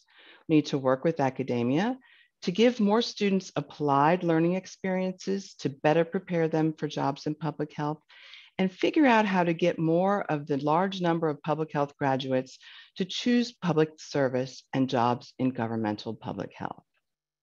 Through pathways like Public Health AmeriCorps, we can reach a more diverse group of students who previously never considered a career in public health. We need to strengthen recruitment with a focus on diversity and health equity and address the important role of student loan repayment and loan forgiveness for public service. There can be a lot of pessimism about whether anything can be really done about the hiring systems in government, but venues like this can be incredibly important to provide the opportunity to hear from jurisdictions who have had some successes and share best practices and lessons learned from um, learned with others like we are doing today. As we design the new workforce grant, we want to incorporate those lessons learned and gather other input to make the grant successful and contribute to sustainable solutions. We started with some internal listening sessions to see how this can complement existing CDC categorical programs and other emergency funding programs. Next slide. What we heard from our CDC colleagues was the need to ensure flexibility to account for different jurisdictional needs and capacities, and to conduct needs assessments during the initial stages of the grant. Given the large number of other CDC and federal programs, we need to map related activities and resources to ensure the grant will complement and leverage existing programs. To increase the availability of skilled staff, the grant should support a variety of options for hiring, recruiting, training, and upskilling. And we must coordinate and collaborate with academia, public health partners, and other federal agencies to improve hiring and recruitment and support future sustainability. We are currently scheduling um, external listening sessions, which will involve many of you. We will invite representatives from state, local, tribal, and territorial jurisdictions, non-governmental organizations, academic partners, national organizations, and others. We will also meet with our federal partners to ensure our investments are complementary to existing workforce programs. Next slide. Some of the questions we will ask are, how can we make the grant successful considering the challenges from COVID? How can we, how can organizations um, be structured? Sorry, how can organizations support sustained success beyond the funding provided? How can this be structured to complement existing uh, funded efforts and succeed in your organization? What types of systems, facilitators, supports, or services could CDC or its partners provide to support your organization? And what are the main workforce barriers this can help address? We look forward to hearing your thoughts on these questions in these upcoming sessions and learning from you. Next slide. Of course, we would all, for, for sustainability, we would all prefer to have reliable long-term funding, but the large amount of funds available now provides a tremendous opportunity to address um, short-term needs and begin finding sustainable solutions. We need to be able to measure our success and make the case for the long-term investment. I call this approach learning while spending. We aren't trying to rebuild the public health system of 30 years ago, but rather we want to, in fact, build it back better. Many jurisdictions are already trying innovative approaches, and we need to support learning communities and other ongoing ways to share what works. As these, new, as these new programs are implemented, we need to collect, analyze, and use more comprehensive data about the public health workforce and conduct more robust workforce planning and forecasting. And we need to do more to support public service and careers in public health, including expanding student loan repayment. Next slide. Right now, we face difficult challenges, but also tremendous opportunities. I think the future is bright. The steps we take now will have an impact for years to come a strong, diverse public health workforce is essential to address the ongoing work of COVID, and those we hire now will be the public health leaders ready to address the challenges in the future. Thank you. Well, thank you so much. And I will tell you in the chat, there was a, I, I couldn't follow all of it because it was very active, but there was a lot in there uh, about uh, the innovative hiring, a lot of thumbs up and a lot of uh, uh support for that. Um, for those of you all uh, active in chat, uh, take the opportunity to put your uh, comments in and answer the questions that Dr. Simone had on her uh, list for the listening uh, session. The more that we collect, the, the better. Um, we have uh, a couple of minutes left, Dr. Simone. Would you want to? would you be able to give a little bit more specifics about the grants? can you dive a little deeper into the, the funding? Right. Um, so we're it's still being worked out, and um, of course we um, want to shape the specifics of the grant um, based on what we learned from um, the different set listening sessions that we're having and from the things we learned today. Um, but uh, we uh, it was originally planned that the grant would be over three years. We're hoping that can be extended to five years, which I think would be helpful. I think it will be important to make sure that we can that jurisdictions can um, choose to use this funding to support foundational capabilities. Um, you know, this is one of the unique opportunities we have to do something um, in a cross-cutting, non-categorical way, and making sure that all um, jurisdictions are able to address the foundational capabilities of the essential services would be a really important, um, I think, to uh, take advantage of this funding to do that, and then can complement all the other um, all the other uh, funding that's out there and the different programs that are out there. The other thing is, um, you know, as I alluded to, learning as much as we can, including doing more planning and forecasting so that we can see what's really needed long term. We can make a case for more specific um, recommendations about what's needed in, in, in different um, jurisdictions and as the nation as a whole, so that we're using data more um, in the public health uh, workforce space um, to inform these decisions. Um, we've made a lot of progress. I think the staffing up report is a really great first step, but we're really far behind in terms of maybe what is known in the health workforce. And we want to make more progress so that we can be more um, uh, data driven in, in our response to the public health workforce needs.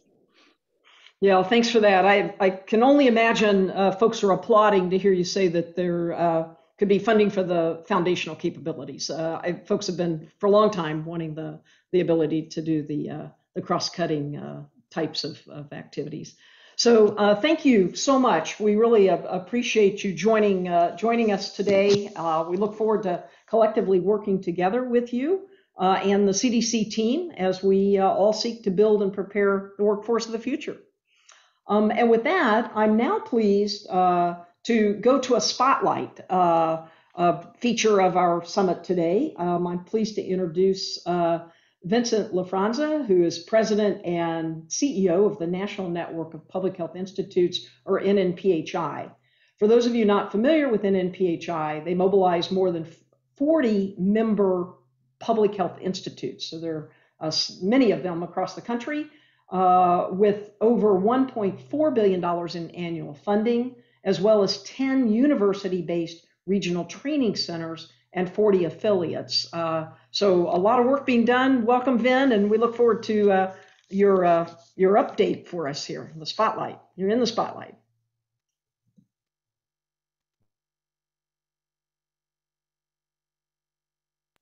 Might need to unmute.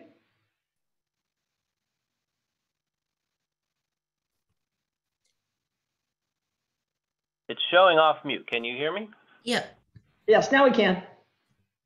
Okay, sorry about that. Thanks so much, Judy, and I'm so glad to be here with everyone today.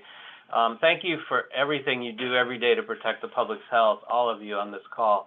Um, this is one of the most challenging times in modern history. We know that, and that's been um, said by many of the speakers today. I'm so honored to work in this important field, and more than ever, I appreciate all of the work that's going around right now with the nation and the globe. Um, on behalf of NNPHI and our growing family of public health institutes and public health training centers, today I'm just delighted to share with you a report regarding the future of public health.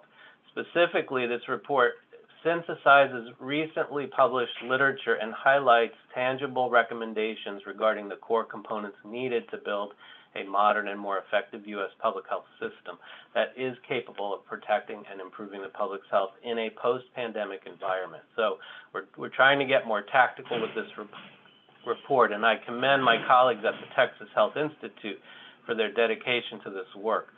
As my terrific colleague, Dr. Benjamin says, public health is a team sport. So this was truly a team effort, but the experts at Texas Health Institute did the heavy lifting and lighting in a lightning speed way, along with my colleagues at NNPHI who helped us get to the finish line.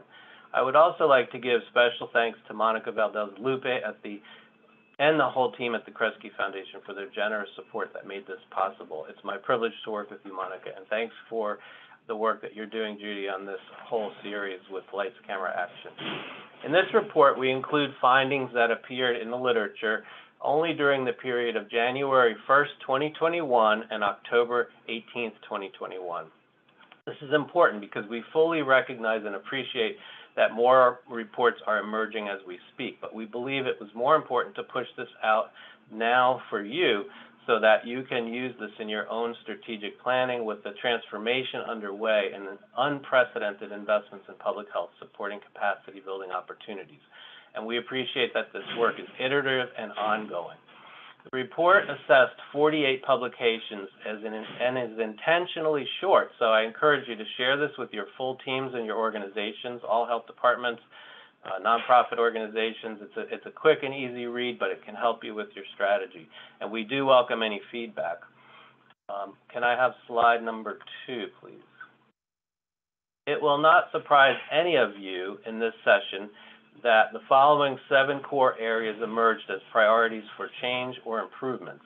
Data infrastructure and systems, workforce development, recruitment and retention, funding, public health law, public health policy, multi-sector system partnerships, health department capacity to advance quality improvement, and of course, building trust in public health. And we've heard a lot of those themes today um, through the different speakers.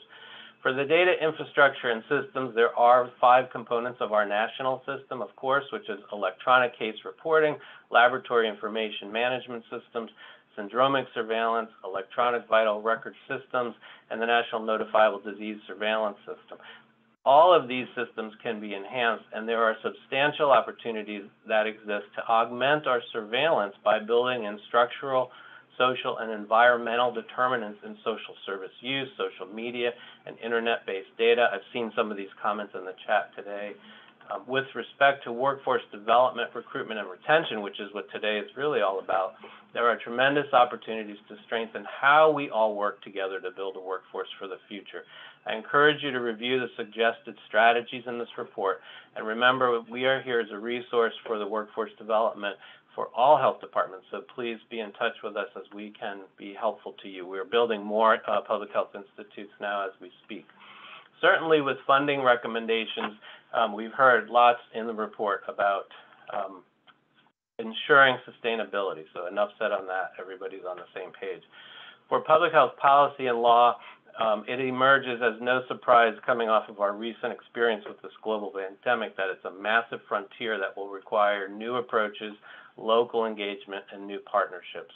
And it has been also mentioned, um, our, our partnerships with elected officials have to be strengthened. For our public health system work, so that we can both protect and produce health, we have always needed, and now more than ever, we need a strong multi-sector partnership approach and a strong backbone, set of strong backbone organizations that support public-private sector muscle building. It will also not surprise you that the health department capacity to advance quality improvement remains a priority for the field. This work is ongoing and there are many resources available to health departments to support this journey and NNPHI has recently released a new resource guide on operationalizing anti-racism, social justice, and health equity principles through performance improvement. So you can check that guide out as well. It's on our website. We also lift up the need for greater efforts at trust building so we can achieve better health outcomes in all communities. These improvements are within reach, but we will only get there with greater focus and strategy. Slide three, please. In addition, we explored the extent in this report which recent publications included a focus on advancing health and racial equity. Findings suggest that while 44% of the publications reviewed included some mention of equity, only 13% include, included specific recommendations intended to improve public health system capacity to advance health and racial equity, and 6% of the publications exclusively focused on health and racial equity. Specific recommendations on health and racial equity clustered around workforce diversity, we've heard those themes today, local community engagement, and to a lesser extent, improving data specificity to inform equity-based practice. So as we engage in our strategy work for the future, we need to uh, beef up this whole area, and we will be doing a lot with many of you around the country on this area. Slide four, please. The report, along with our first report of a deeper dive that included recommendations from a national expert panel, is available to all. Both can be found online and are freely available for public consumption. Appreciating that we are all drinking from fire hoses right now. For the next phase of our work, NNPHI will be funding the development of a strategy guide that health departments and other public health organizations can use to guide their strategic planning processes in creating the future public health practice. This guide will be based on the findings and expert panel advice, some of the proceedings from this Lights, Camera, and Action uh, event today and future events, and the guide will also be available to all. We are all working to build um, a growing family of public health institutes that are partners of yours, and we want to focus on stronger out-based outcomes-based strategies that address health and racial equity. So we look forward to working closely with you and in your health departments and many other public health partners to do this together. Thank you all for what you do. Reach out to us for technical assistance anytime, and please enjoy the remainder of this Lights, Camera, and Action event. Thank you, Vin. Thank you so much for spotlighting this important work and for, for having this ready for the summit today. Uh, really appreciate this. This is really, really valuable. Thank you also for all the work that you and NNPHI do in support of our nation's public health system. Um, so now we're going to move to our next panel. Um, and we're getting into now a series of panels that are going to really get to the how uh, and examples of how and talk to folks that are on the ground uh, working every day. Um, this next panel is going to explore how we invest in a diverse and inclusive workforce. Um, remember again that you can post comments into the chat. Um, and if you want to share any uh, thing on your social media or on your own channels, use the hashtag LCA Summit. This panel will be led by Dr. Rodney Lyn, who is Dean of the Georgia State University School of Public Health. Rodney, I'm going to turn the virtual stage now to you, and uh, you all can uh, introduce your, your panel or have them introduce uh, themselves um, and take it away. Great, Judy. Thanks so much. Um, it's it's really a pleasure to be with you and um, what looks like hundreds of our colleagues uh, uh, for this vitally important session on investing in a diverse and inclusive workforce. Um, we've got a wonderful panel of guests with us, and I'll introduce them shortly. But I just want to start by saying that I'm I'm really you know excited about this topic. It's near and dear to me uh, because here in our School of Public Health at Georgia State University, we're especially committed to making a significant contribution to, to producing a diverse and inclusive workforce. Uh, we train and educate public health researchers and practitioners here. Uh, and over the past several years, our school has grown from a small public health program to a fully accredited school of public health. And much of that growth has been a, a result of inclusivity. Uh, we use holistic review in our admissions process and among other things, this has meant that high test scores have not been sufficient for admission and low test scores have not been a reason for exclusion. Um, we know that test scores uh, and those requirements have served as a barrier to admissions for especially for individuals from backgrounds underrepresented in higher education. And last year we took additional steps uh, and eliminated the GRE as a requirement for admissions into our Master of Public Health program and our Doctor of Public Health program. Uh, we're, we're really working hard in training students at the undergraduate level as well. Uh, and we're really proud that 69% of our student body are individuals who identify as one of several racial minority populations. Uh, our students here at Georgia State are really talented. They're committed to public health and social justice and they're really ready to diversify and strengthen the public health workforce. The, the, the importance of, of building a strong, competent, committed, diverse, and inclusive workforce really couldn't come at a, uh, be on this agenda and come at a more critical time.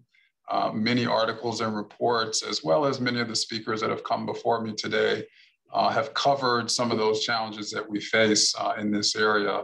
Uh, and, and we know those include in, inadequate and inconsistent funding for public health, uh, poor retention of staff, uh, insufficient resources for professional development and training, uh, inadequate diversity to meet the most pressing challenges that we face. And those include the enduring inequities and, and disparities across so many health outcomes. If we really want to reach uh, the populations who are in greatest need, we really are going to need to diversify our workforce at all ranks, and that includes at the leadership level. Uh, it's at that level that we really direct resources and determine the best programs, interventions, and, and messages for advancing population health. So um, the last thing I'll say before introducing our panel is just that, you know, key to these efforts is really a need for partnership and collaboration Uh, no one sector can do this alone, and I think that's reflected in this wonderful event that uh, uh, the CDC Foundation is, is organized uh, today. If we're going to achieve a diverse and inclusive workforce, we really have to bring together state, local, and federal public health, NGOs, academia, community-based organizations, as well as the private sector. And we're going to have to recognize and think about the workforce uh, in new ways and ensure that community health workers and promotores play an important role in that, that workforce as we go forward. So with that, let me just say we've got three wonderful panelists uh, with us today. Uh, let me introduce them and then ask them to, to help us think through this topic. Um, we have uh, uh Nicole Alexander Scott, uh, Health Director at the Rhode Island Department of Health, uh, and Tanya Blinn, Director of Performance Management and Quality Improvement at the Massachusetts Department of Public Health, and Maria Lemus, Lemus Executive Director of Vision e Compromiso uh, so thank you all for uh, being with us today. Uh, let me start maybe by asking each of our panelists to share their thoughts on what successes we can draw on from, what we can draw from to increase diversity and inclusion in the public health workforce. Uh, maybe Antanya, I'll, I'll start with you. Sure, thank you so much, Rodney. So um, one area that we are definitely focusing on is our relationships with our academic partners and some unusual partners. So I'm going to be talking and responding to questions regarding our academic health department, how we expanded it um, to include a program that focused on supporting local public health in response to the pandemic, and how it has really led to um, a more permanent part of our workforce development pipeline, really having strong collaborations with um, undergraduate programs, community colleges, graduate programs, postdoctoral programs, because we need people in all levels um, to support public health, both at the state and at the um, uh, local level. Um, we had a really strong collaboration because of the academic health department to really build upon and support local public health. We ended up having over 900 um, students, faculty, and alumni coming together to support 138 local communities in Massachusetts. We have a total of 351, so that's a pretty large chunk. Um, and that's just in 20 months. So we know there's an opportunity to help support um, those applied learning experiences as was shared earlier, um, and the importance of really um, building a, a, prepared workforce to support our 21st century needs. Great, thanks. Uh, Maria, let me ask you to chime in. Thank you, Rodney, and thank you, Dr. Monroe, for inviting us to join this conversation. Um, I was I was struck by the words of Dr. Walensky, where she remembered how a community played such a role, an important role in the HIV/AIDS epidemic.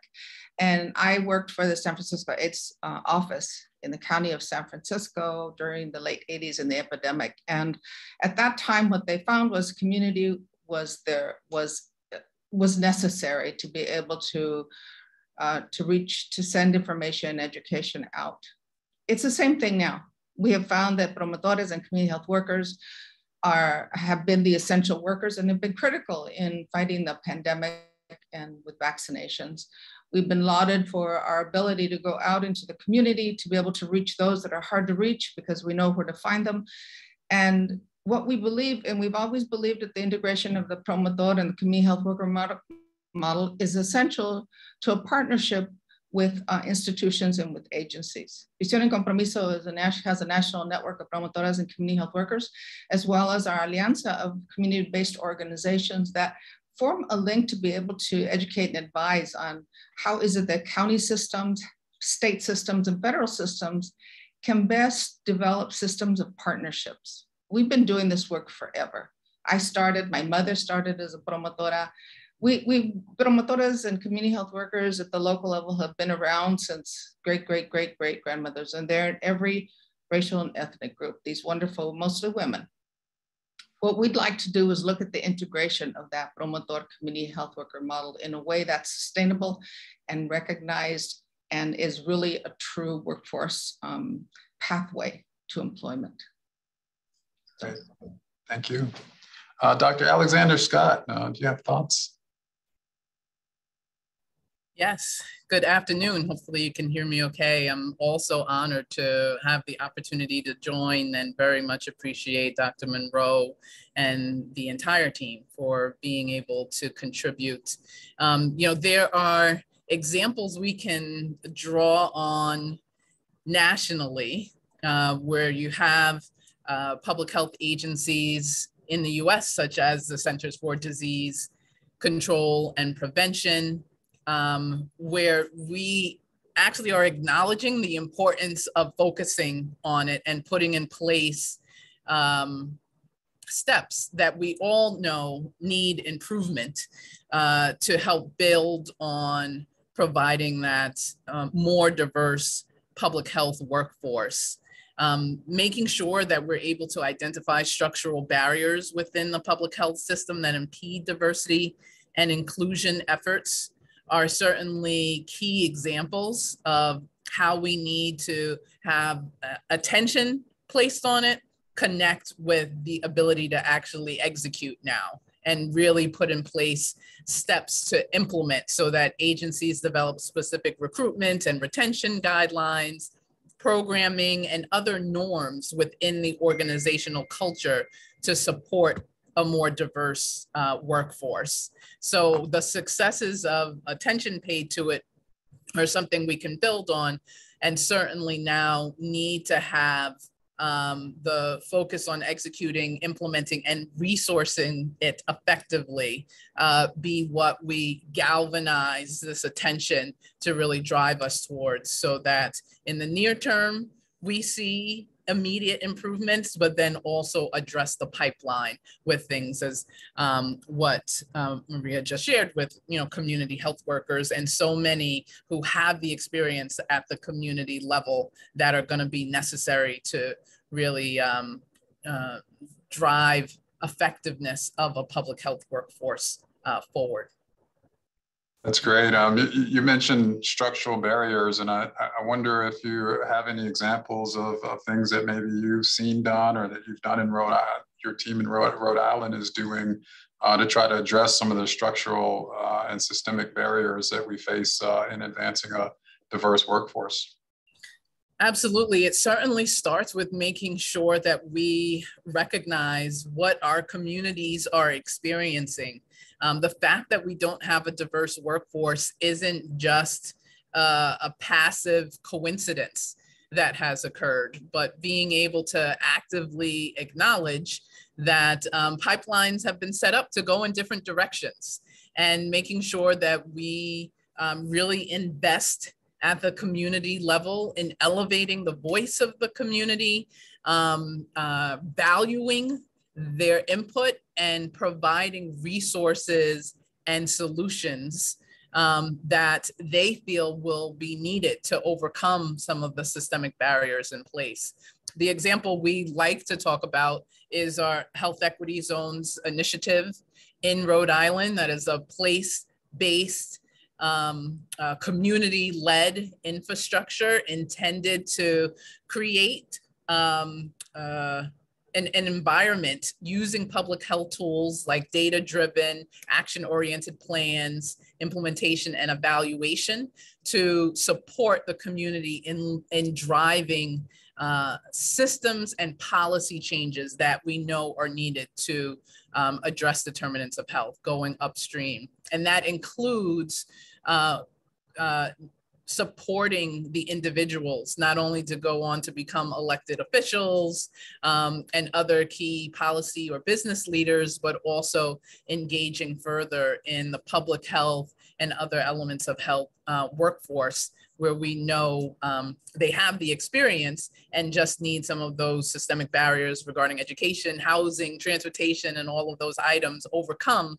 to help support the path of an improved pipeline um, for those to, to really uh, positively impact our public health workforce of the future.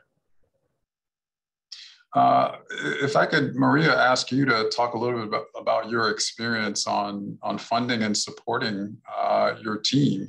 Um, you know, there's uh, some, some comments in the chat and people are uh, really interested in hearing more about community health workers, promotores, and uh, you know, making the case we need more funding there. So maybe you could talk about your successes and challenges in that regard. Well, community-based organizations have struggled or continue to struggle with funding. and most of the promotor and community health worker positions are on soft money, they're grant funded and, and supported by foundations or some grants in some applications. But um, it is difficult. And I know the discussion many years ago was the argument for a community health worker and a promotora was an ROI. But it really should not be an ROI that generates our interest in partnering with community-based organizations and promotoras and community health workers they are the extension of who we are. They are they should be that that partner with health departments and state departments to, and, and, and mental health departments. We look at a socio-ecological approach. And so every department, education, formerly in prisons, everybody should look at a promotor and how it, and a community health worker and how it is that they can integrate that individual in providing the best service to the family. We say that a promotor and a community health worker have a space for preconception to death. If you think about the health continuum, there's a space for us. If that funding is, as uh, Nicole mentioned, resourcing is really important. So how do we support that partnership? CDC funds and HRSA funds go traditionally to state offices or to large intermediaries, to academia or to um, counties. And that's a barrier because they, st they still hire and disperse, disperse those funds in a very traditional manner. One of the big obstacles, for instance, is requiring a high school degree or to speak English. Let's say I speak English, but I don't have a high school degree we have such a high Ill, um, illiteracy rate in our communities of color, that's a major obstacle. And still civil service isn't changing that. Um, and some of the requirements for the intermediaries isn't changing that either. So that's why we're suggesting that you look at community-based organizations like ours. We've been able to design our requirements. We hire promotoras off the field, we train. Some of them come right off the fields. Some of them come from cleaning houses and they are smart, they, they know how to do things. They come in as promotores, they become lead promotores, they become coordinators, managers. We have promotores who are directors in our organization. We have a model called the integration of the promotor model, which really looks at taking a community person who has these innate skills and abilities and how do you nurture that, that person, that relationship so that you have this worker who is skilled, who can who can analyze projects, who can do project management, who can really look at evaluation. Of course, they don't have an MPH, but that's where I'll hire an MPH to do that. And if I need a DRPH, I'll hire a DRPH. That is against the argument to give money to universities, for instance.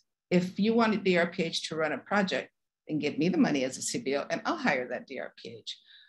There are too many obstacles with universities and counties in terms of getting that money out the door. Sometimes it takes months before that money gets out. They take too much of it. And by the time the community gets it, it's 25 cents on the dollar. That's just not, that's just not, you can't do a program that way. Thank you.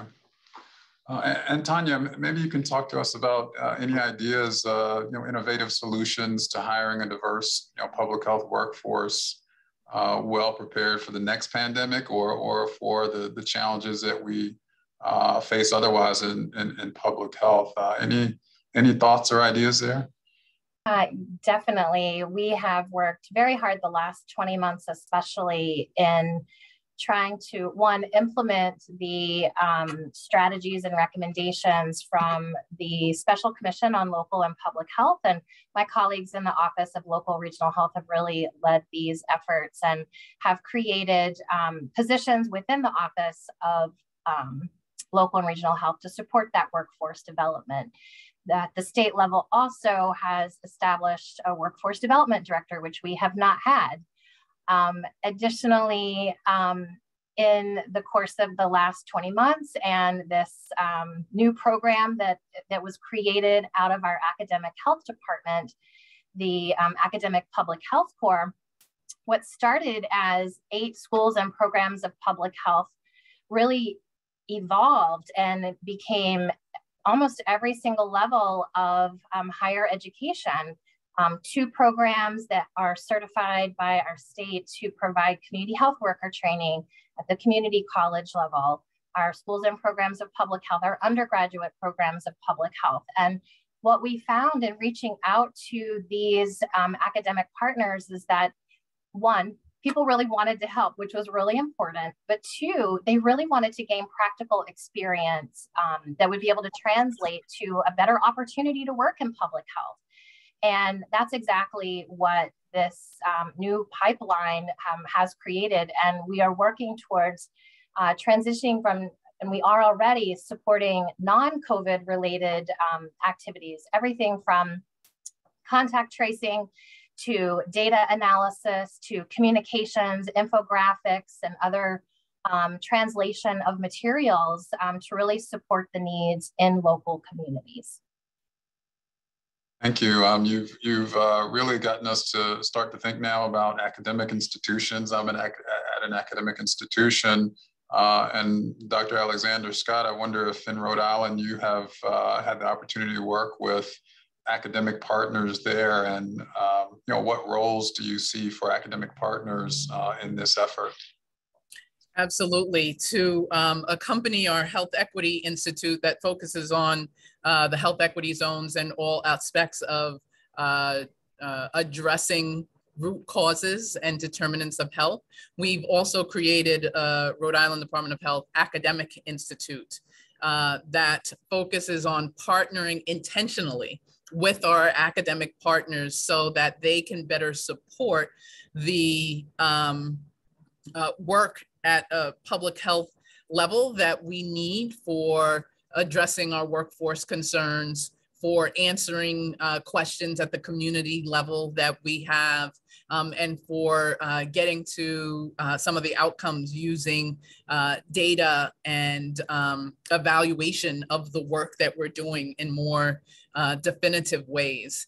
Specific to our workforce piece, we have a community health worker association that we have reestablished in Rhode Island and did it as a partnership with our, co our colleagues at Rhode Island College who have uh, joined with us in this vision such that we can create a pipeline for people who may not have some form of healthcare license, but absolutely have the experience and the interest uh, needed. And in partnership with Rhode Island College, can be brought through our community health worker statewide certification program, but then also be set up in an apprenticeship like program to uh, be connected to community based organizations, hospital, or other healthcare facilities, or our health equity zones, ways to really um, jump in. We're also combining it with our behavioral health um, recovery specialists, who are also a type of uh, community health worker or family home visiting staff who are also types of community health workers. So really professionalizing that massive public health workforce in a way that allows our colleges and universities to also support um, the work that they're doing, setting the stage for um, uh, further advancements in their own education, whether some form of educational certification or qualifications for some other type of healthcare uh, licensing educational path, an LPN, RN, or um, any other path, MD, that um, folks would like to. So we're really working on through our Community Health Worker Association um, and I see Sarah Lawrence is on and so many uh, others uh, being able to have that serve as a a pipeline for um, going from that real-time experience and significant value to our public health workforce at the community level and equipping them with what's needed to contribute there and go beyond um, from an educational standpoint. So our, our university um, partners there are invaluable in um, uh, helping us advance. And there's much more to do as well sounds like a real theme. I mean, just listening to to to our panel here is um, that there is uh, an opportunity, uh, regardless of whether the the individual has formal education or not. Uh, community members, uh, regardless of background, have a lot uh, of value to bring in helping us advance our goals and objectives around uh, public health. And it's incumbent on us to determine uh, the right ways to train, engage, and support them uh, in bringing about health in their own communities. So, so, so thanks for, for those uh, ideas. Um, Maria, is there anything that you want to add to the conversation on uh, working with community colleges or universities? I think that, that that's an, uh, an important um, opportunity for our community, uh, for all communities. Um, community, I used to teach at a community college. I think it's a wonderful avenue.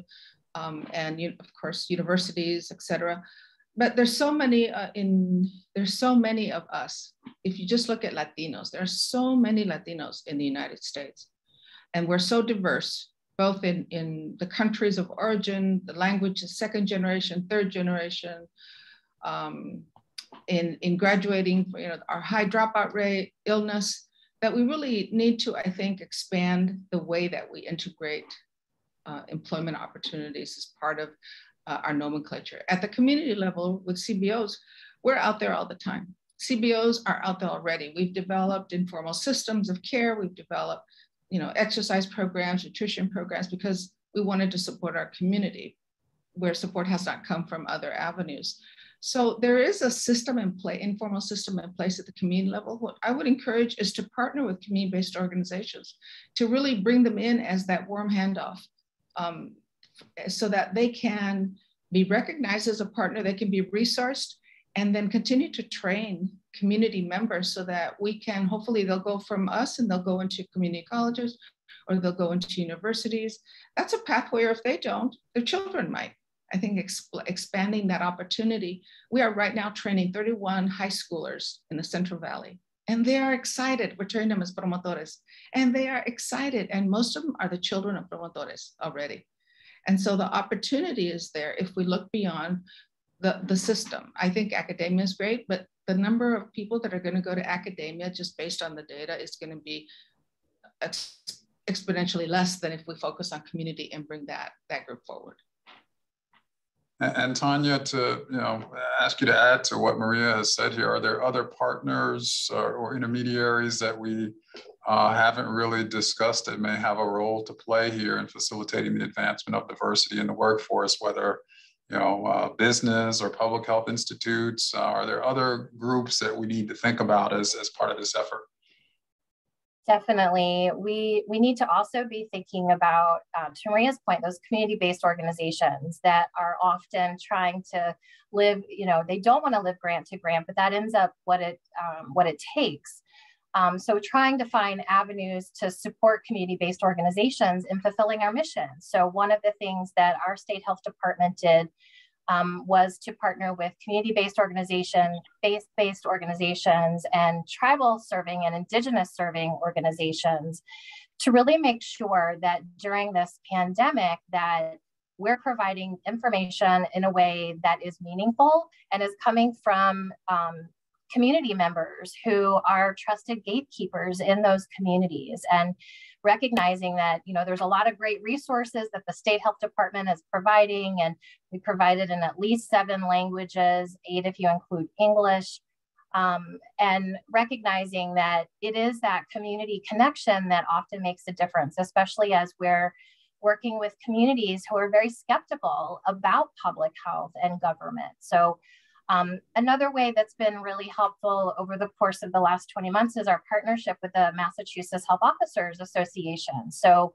having another statewide organization um, to partner with, um, especially when it comes to supporting local public health and um, having another set of um, experiences to share uh, what the experience is on the local level and really trying to better connect um, local public health with the, um, the culture, the traditions, the languages that are needed in their own communities and connecting to our academic pipeline um, to also be able to support that. So I guess kind of coming full circle there, but um, lots of different organizations are important um, to partner with moving forward to diversify our workforce. Uh, Nicole, to think um, a bit more internally, uh, one of the things that I, have seen in the chat here is um, you know, people were asking about succession planning. And as we think about leadership, diversity, capacity, uh, have you seen anything in that space around succession planning that, uh, you know, we should be lifting up, uh, uh, you know, in, in, in, public health departments and in other organizations to ensure that uh, there's adequate, you know, mentoring, guidance, uh, and a plan because we want to have great retention, but where we're not having, or where we're not retaining, we need people ready to step up. Um, any thoughts on that? Yeah, it's a it's a great question, and it's so important for us to start focusing on that uh, now, being early on in the process. Excuse me. One piece that comes to mind there is really ensuring the stability that's needed for the workforce and sustaining the resourcing of this expanded workforce. Um, you know, the notion of uh, partnering with Medicaid, for example, to ensure that community health worker reimbursement is in place, or with other uh, state agencies, particularly across our health and human services portfolio, to see where current funding that's already in place could help support an ongoing um, workforce uh, pipeline where we may have alignments, such as a family home visitor that works in, in uh, both our realm and our uh, child welfare realm or in behavioral health where we have our certified peer recovery specialists who also aligns closely with our um, you know public health community health worker but thinking intentionally about how to strengthen those alignments and to get the training process and the initiation of that role to um, uh, be in sync uh, such that we can also have the ongoing retention and resources to sustain the roles also uh, be in sync and have it not be a one-off in terms of being able to build from community engagement and expertise into uh, the public health workforce and, and long-term other educational uh, opportunities. Uh, and then certainly being able to leverage um, you know, our current workforce once we make clear the intention of expanding with diversity and making sure that that's an, an understood uh, necessity that must be embraced, uh, that's where the mentorship can then be used to help ensure that um, with a, an out of the box approach, it doesn't have to be the typical rigid public health only way to um, you know make it through the the ranks as uh, a governmental employee, but thinking about um, uh, more creative ways to bring people in. Our community health worker certification, for example, doesn't necessarily require a high school degree or other potential barriers, but values the life experience and community involvement that they can bring, and then uses hours of um, applied work to help it advance what's needed. So perhaps we can bring that to the uh, governmental public health and other state agency positions um, framework and approach and then use the mentoring to be able to establish that kind of pipeline in a way that is sustained and resourced over the long term. Those would be a few suggestions. Great. No, that's great. Um, yeah, I think we have uh, time for one more question for maybe each of you to respond to. And I, maybe would just ask each of you to um, share your thoughts about, you know, something that uh, has been effective for you. I mean, a lot of the things that we're talking about uh, are things that require resources, uh, require advocacy. Um, are there things that you have uh, experienced, successfully advocated for, uh, that you would like to see, you know, scaled up and and and you know that you would point to as a, a real success story uh, in the work that you've done, uh, and might be something that could be you know scaled up uh, elsewhere. So, um, uh, and Tanya, I'll start with you, and then Maria, and, and uh, go from there. Thank you. Yes, I do think that the um, academic public health corps could be scaled up, out, across, um, not just um, a novelty in Massachusetts. Um, we all have a commitment to um, diversifying the workforce, and I can definitely say that um, the folks I've had the opportunity to work with, uh, whether they be um, community college students, whether they be undergraduate or graduate students or postdoctoral, they all come from a place of passion and wanting to um, ensure there is um, more equity in the efforts in public health. And so by centering equity in our conversations from the very beginning has been um, personally rewarding to hear people's journeys, experience, and how um, we are tackling and, and, dismantling systems that continue to perpetuate racism. Um, it is a difficult area to focus on um, and one that um, we heard from program areas that wanted to address some of the inequities in their programs and not necessarily knowing how to do that. And so created the racial equity data roadmap that has been implemented and continues to be implemented throughout our department and is available um, on our website, which I'll post in the chat box in a moment. But being able to center equity, um, I was thrilled whenever the new and improved um, 10 essential public health services were, re were released because we were already starting to have this language. And so now nationally, there's some common language for us to continue to, to draw upon and to really recognize that um, until we're talking about social determinants of health in a way that um, really helps to um, educate our vendors, educate our community members, and help them find their voice in making improvements in health outcomes. That is the way that we're going to need to work in this, um, you know, new um, new future of public health. Great. Um, we have two or three minutes left. Um, Maria, um, maybe ask you to add, add to uh, Tanya's comments. Um, we have a saying in our organization, con dinero o sin dinero, with or without money. Because social change does not happen because you have a grant. Social change happens because you have leadership and you have people who want to, to, ben, to better their community and better their situation. The promotoras and community health workers have been doing this for hundreds of years what we're asking is that the system look at us as experts in our community and integrate us as part of that. One example is the Medicaid money that's coming down for community health workers. That's primarily for those who have systems for, for hospitals, clinics, and plans. The community-based organizations won't have access to that. And so that little change in the, in the policy would make a, a big difference in resourcing community-based organizations.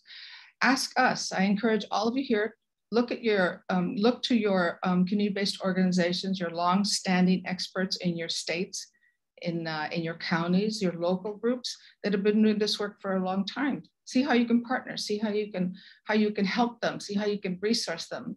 Ask them for what is it that they need, or ask us, we're happy to, to uh, refer you to local experts, or we're happy to share our papers. Um, but I encourage you to talk to community and integrate community as part of the systems change. Right, right. Nicole, any final thought? Yeah, um, what was stated was you know excellent and uh, powerful, and just kind of reinforcing that in our ability to have the expanded understanding of community health workers be a professional workforce that is acknowledged is um, supported in terms of education and, and the pipeline and is resourced uh, effectively.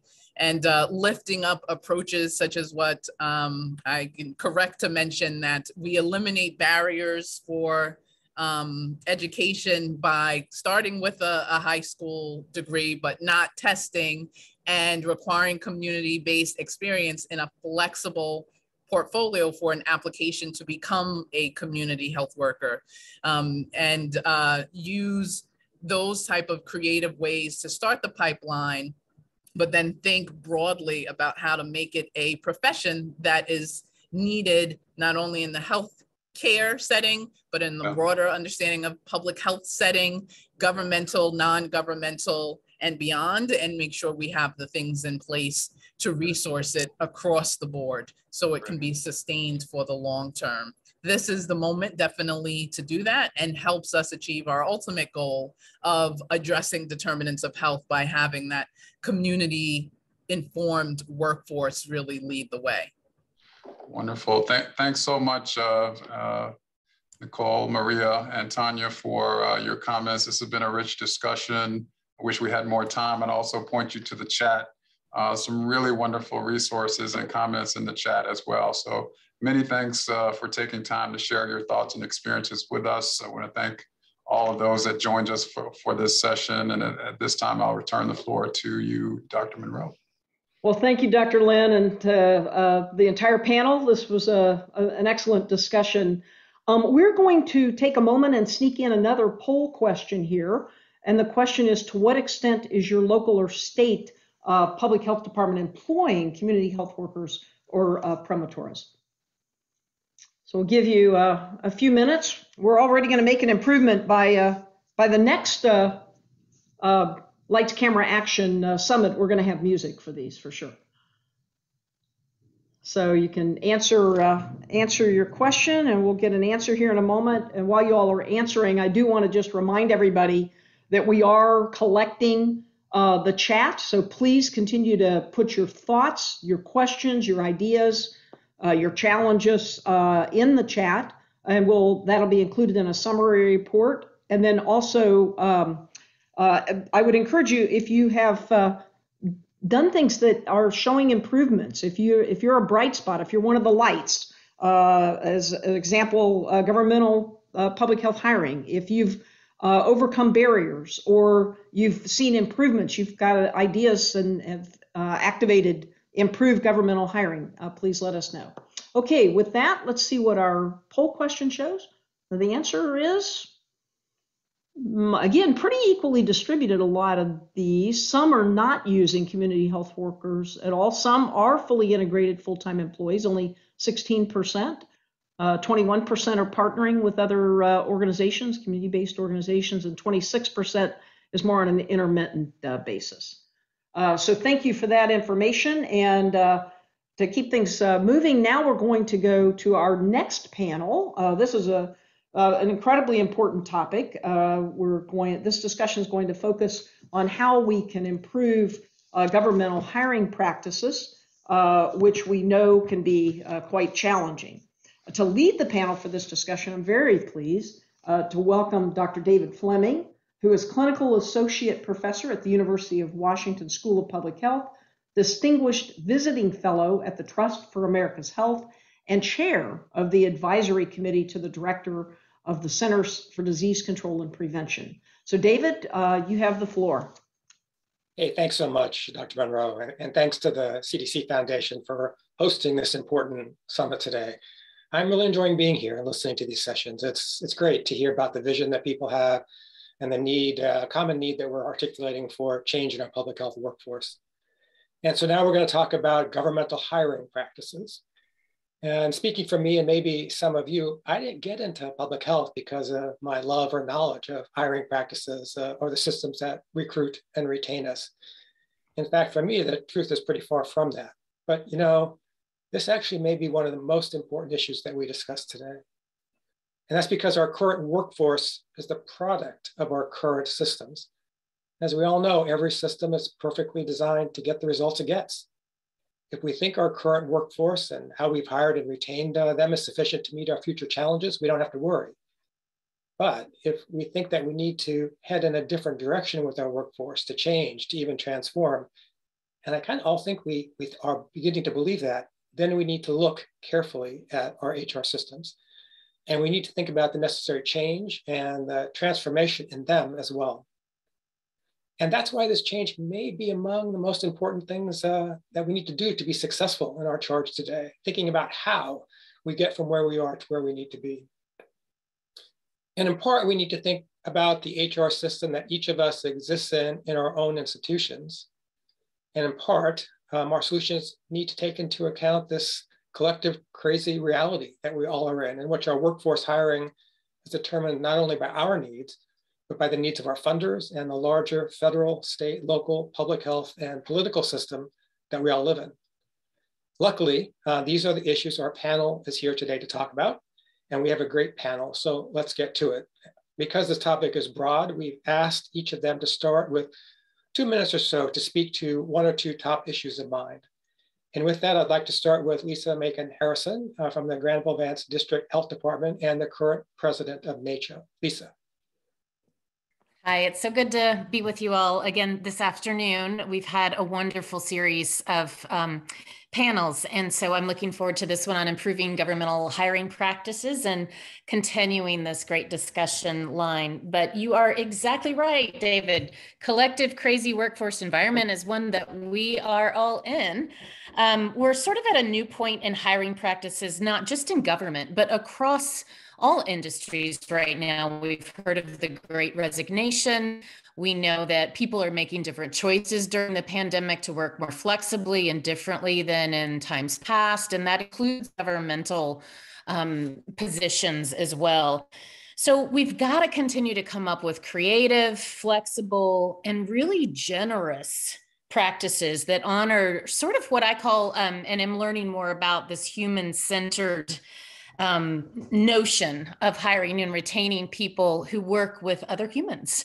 You know, we, we like to talk about building the public health infrastructure as improving data systems as well as workforce, but we can't ever forget that it takes the humans doing the work on the ground to enter data, to analyze data, to make decisions based on data.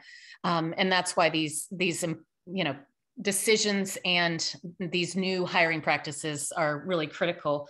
We also have to honor the now as we think about the future. So, what we're called to do anytime we're looking um, across our agencies and figuring out what we need to do our best work, we have to continue to evaluate future needs. But that doesn't mean we ignore the needs of those who are with us right now and retaining the excellent, well experienced, skilled workforce we already have. Um, so I'm reminded of that song, um, you know, make new friends, but keep the old one as silver, the other gold. We've got to do both of those things at the same time. So to me, that also means we have to say yes and a lot. Um, and then I loved hearing some some thoughts about that academic health department model from Massachusetts, and I'm going to add a little bit more today on our rural academic health department model in Granville and Vance as some ideas on the ground about new uh, governmental hiring practices, and look forward to hearing from others on this one. So I'll stop there for now. Thanks so much, Lisa, and thanks for reminding us that uh, not only do we serve people in our work, but we are people as well, and so we need to attend to that in, in our hiring and retention practices. Next, I'd like to uh, ask um, Mindy Waldron, who's the department administrator at the Fort Wayne Allen County Health Department, to, to weigh in on this issue. Mindy it's been so encouraging to hear what everybody's had to share today. And I sit here thinking, how do we approach this as a local health department, sort of the boots on the ground and sometimes the, lowest on the totem pole, sometimes of hearing what's going on nationally. And so some of this is just, this is my passion and been very encouraging to hear. I think one of the struggles as a local health department, especially in a state like Indiana, who's really working to better the public health system, but does have some of the lowest funding and sometimes low, lowest outcomes usually depended on funding, is that for local health departments, we're stuck within a local government structure. So we don't have a lot of say over what those hiring practices or policies are. And I think what we can do, though, is be the example.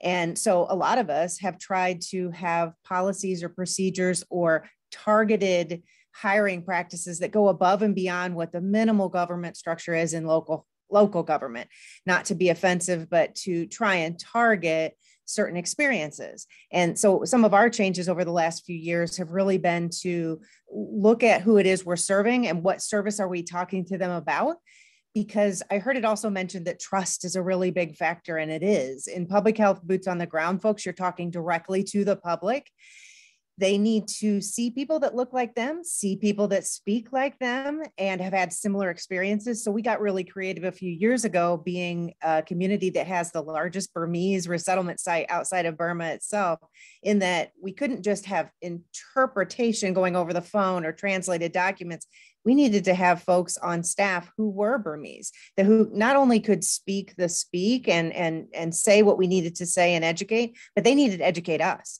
so that we knew why certain cultural things were the way they were and why they were important. And I think uh, I guess I'll end for this first comment here of being to really break things down by task that we need to do and the population we're serving and think about ways to get around the minimalists. What are you required to do? What are your limits at local government? But can you be like it's been said today that light and just have slightly a little bit better so that you're the example in that. And when it comes to hiring we really do need to build trust. We do need to diversify and get into high schools and do some of this grassroots education so we could see what it's like to be in public health and that that be a wanted career not just a job. Thanks so much mindy and uh, for that frontline perspective and also for reminding us that we all exist within a larger public health system uh, and that is reflected in our next, next two speakers. So next I'd like to ask Tara Johnson, who's the program director at the National Conference of State Legislatures, to talk with us a little bit about their perspective on this issue and her perspective. Tara. Great, thank you, David. Uh, good morning from chilly, Colorado. I'm honored to be here today speaking with you all. Um, NCSL is the national bipartisan organization that works with state legislators and legislative staff across the country we um, educate and inform our members on state policy, though we do not advocate for any specific policies. Um, I spend a lot of my time working with state policymakers on public health and maternal and child health policy. Um, and again, a big part of my job is educating and informing them on public health policy. Um, state legislators have several different roles to play when it comes to the public health workforce and thinking through the future of the public health workforce. The biggest one that you all are aware of probably is uh, budget and financing. So um, budget and funding allocations primarily with state dollars, though the flow of an allocation of some federal dollars also may go through them. During the pandemic, we saw state legislatures look at specific public health functions um, and areas for investment, especially when urgent. Uh, for example, several state legislatures such as Georgia, Massachusetts, and South Carolina allocated funding from the general fund for contact tracers and vaccine programs. And other states, such as Arkansas, Florida, Illinois, and Massachusetts, enacted laws around ensuring data and information is clearly communicated to the public, whether it's urging transparency or culturally and linguistically um, diverse public education, or prohibiting dissemination of knowingly false or misleading information. Um, we've seen several types of legislation enacted this year around supporting the public health workforce, such as in Colorado and California, adding protections from harassment for public health workers and those working at vaccination sites. Um, and we've seen some mental health programs instituted for healthcare and public health workers. So while these are immediate reactions and responses to urgent priorities this year, um, I think it's safe to say that state legislators are learning quite a lot about public health this year. Um, and it is really a ripe time to have discussions with them about the future of the public health workforce. We receive a lot of questions at NCSL from policymakers about the best way to invest money into public health, um, whether that's workforce or just certain programs. And we're getting a lot more of those questions, I would say, in the last year, year and a half. Um, many of them are interested in how to um, address this pandemic, but also how to be better prepared for the next one. Um, so I think it's important for all of you as public health leaders on this call to know that we're getting these questions from across the political spectrum, across the United States. Um, we're hearing it from uh, chairs of health and human services committees. We're hearing it from our health innovations task force. Um, and then just a lot of legislators that are hearing different things from their constituents. Um, so when they ask me what is important to invest in, I am often saying the answer truly lies within your state and your local communities. Um, so I really encourage all of you to be working with your state legislators as partners in this endeavor. Really good point. All right, thanks so much. Uh, and then to close off this introductory section, section, I'd like to ask Blair Bryant, who's the Associative Legislative Director at the National Association for, Association for Counties, to give us a, a few thoughts from that perspective. Blair. Thank you so much, David. And first, thank you to the CDC Foundation for having us here and to my esteemed panelists for engaging in one of many transformative discussions taking place during today's summit. I'm here today on behalf of NACO, who represents the nation's 3,069 counties. Who support the majority of America's approximately 2,800 local health departments, which are traditionally, traditionally seen as the hubs of local public health.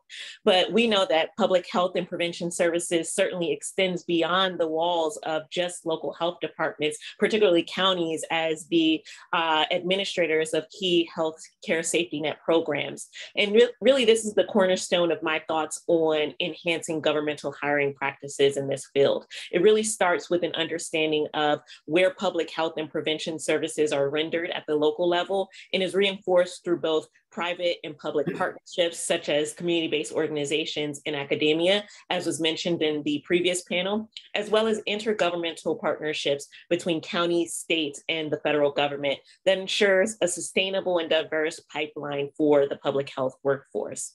And with that, I look forward to speaking more about this in today's discussion and getting into some of the how-tos of these ideas. And I'll turn it back over to David. Thanks so much, Blair, and, and thanks for that, uh, that lead in because you know, the CDC Foundation has told us they really want these summits to be about how. We kind of know where we want me to go, but how is it that we get there? So I'd like to ask each of you a couple of questions. We'll see how far we can get in this session. But let's start with one of the most important issues that's confronting us. We've talked about it a bit already, but it's certainly worth talking about again. And that's simply how can we better assure that our public health workforce and our public health leadership is reflective of the communities that we serve, particularly communities of color. This is something that we have within our grasp, within our hiring practices to either be successful at or not. So I'd like to ask each of you from where you sit, what are some of the most important steps that we need to take within our hiring practice systems to continue our journey down this path towards diversity? And let's uh, stick with the same order that we've been in. But Lisa, could I ask you to go first? Sure. Yeah, happy to. Well, you know, I think someone on the last panel mentioned the importance of, of leadership and this notion of how we change our practices, and and and we definitely have to have leader commitment.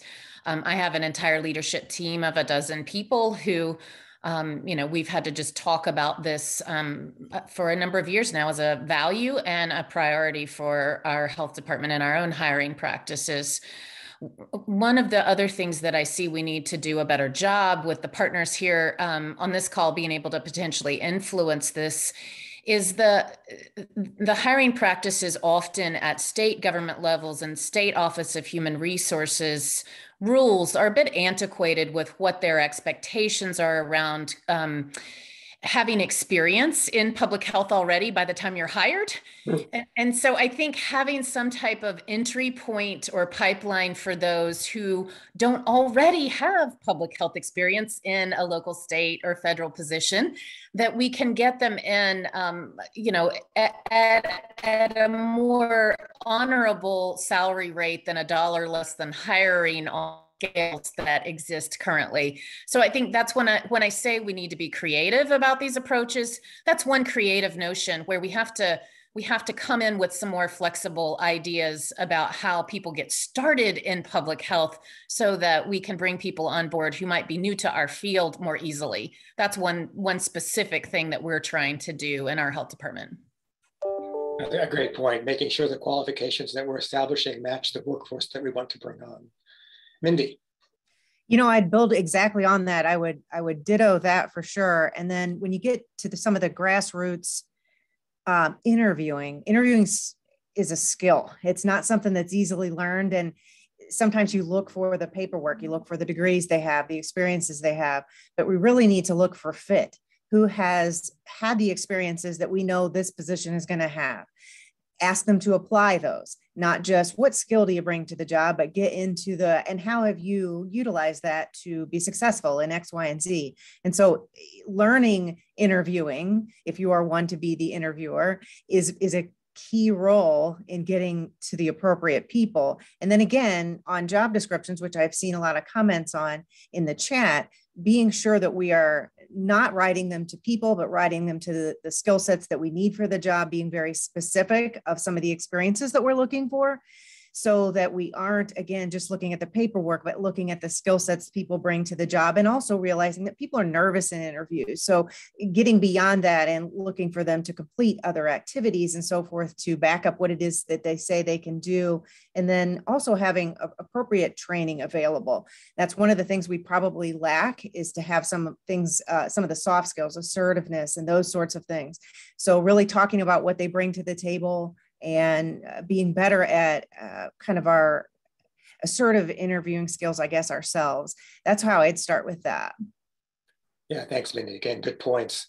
Tara, we've heard a little bit already that sometimes those of us in the public health world feel like we're somewhat trapped by the systems in which we find ourselves. Do you have a perspective on this issue from the standpoint of NCSL? Sure, and you know this. Um, I agree with everything that's been said, and historically, state legislatures have not legislated around the demographics of the public health workforce. Um, however, we've, we've seen more of this since the pandemic has showed uh, significant disparities between communities. Um, and there are several examples of state legislatures who have um, legislated on this. Um, we, we saw the District of Columbia, for example, require at least 50% of their um, contact tracers to be hired um, th through DC, so they have to be DC residents um, serving the community. We saw something similar in New York that there has they have to represent uh, culturally and linguistic uh, diversity of the communities, and again in South Carolina, um, hiring those who are best suited to interact with their population. So that's more of that like 500 foot level. Um, so there are these, these structures in place. I'm not saying that legislation is necessarily the best way to address this issue, but it is one option um, to help provide some more guidelines. Um, then lastly, I would say state legislators, they're representatives of their communities and they know a lot about the community organizations and the educational pipelines in their state, um, in their towns and cities. So they can be excellent informal partners uh, to discuss different ways of improving and promoting jobs um, in those communities that they represent. Yeah, it's a good good point to remember that uh, we're all on the same side on this. Thanks for thanks for making that. And then Blair, um, we appreciate your perspective on this. Absolutely. Um, and also agree with everything that's been said, particularly Tara's uh, uh, points on looking at this from kind of a national local government perspective. Uh, at, at NACO, we're always looking at issues from the perspective of county systems, and the issue of diversity, equity, and inclusion is in our local workforces is no different. The value of a diverse workforce starts with local government that values diversity and is taking practical steps towards systemic inclusion. So since May of 2019, before the pandemic, we've seen a number of counties in at least 22 states publicly recognize racism as a public health crisis through declarations and resolutions in which they've committed to assessing internal policy and procedures that will promote equity, increase diversity across the county workforce and leadership and advocate for um, policies that would improve health in communities of colors as well as other actions. So I believe that this is really the catalyst to di diversifying the county workforce broadly and the leadership structure to include the local public health workforce as well. Yeah, thanks, Blair. I would just add from my, my personal experience that one of the places we need to be especially vigilant is at the very beginning of the process. Sometimes we trust the system to generate that pool of applicants that then we then interview. But it's critical to look at, I found it's critical to look at a pool that is presented at the beginning. And it doesn't contain the diversity, the types of skills that you want, to actually stop at that point and tell your recruiters to go back and continue to work until you've got a, a pool of applicants that reflects what it is that, that you are really looking for lots of lots of future opportunity to, to do better on this front. But I wanted to switch gears a little bit to talk about another aspect of the transformation of our public health workforce.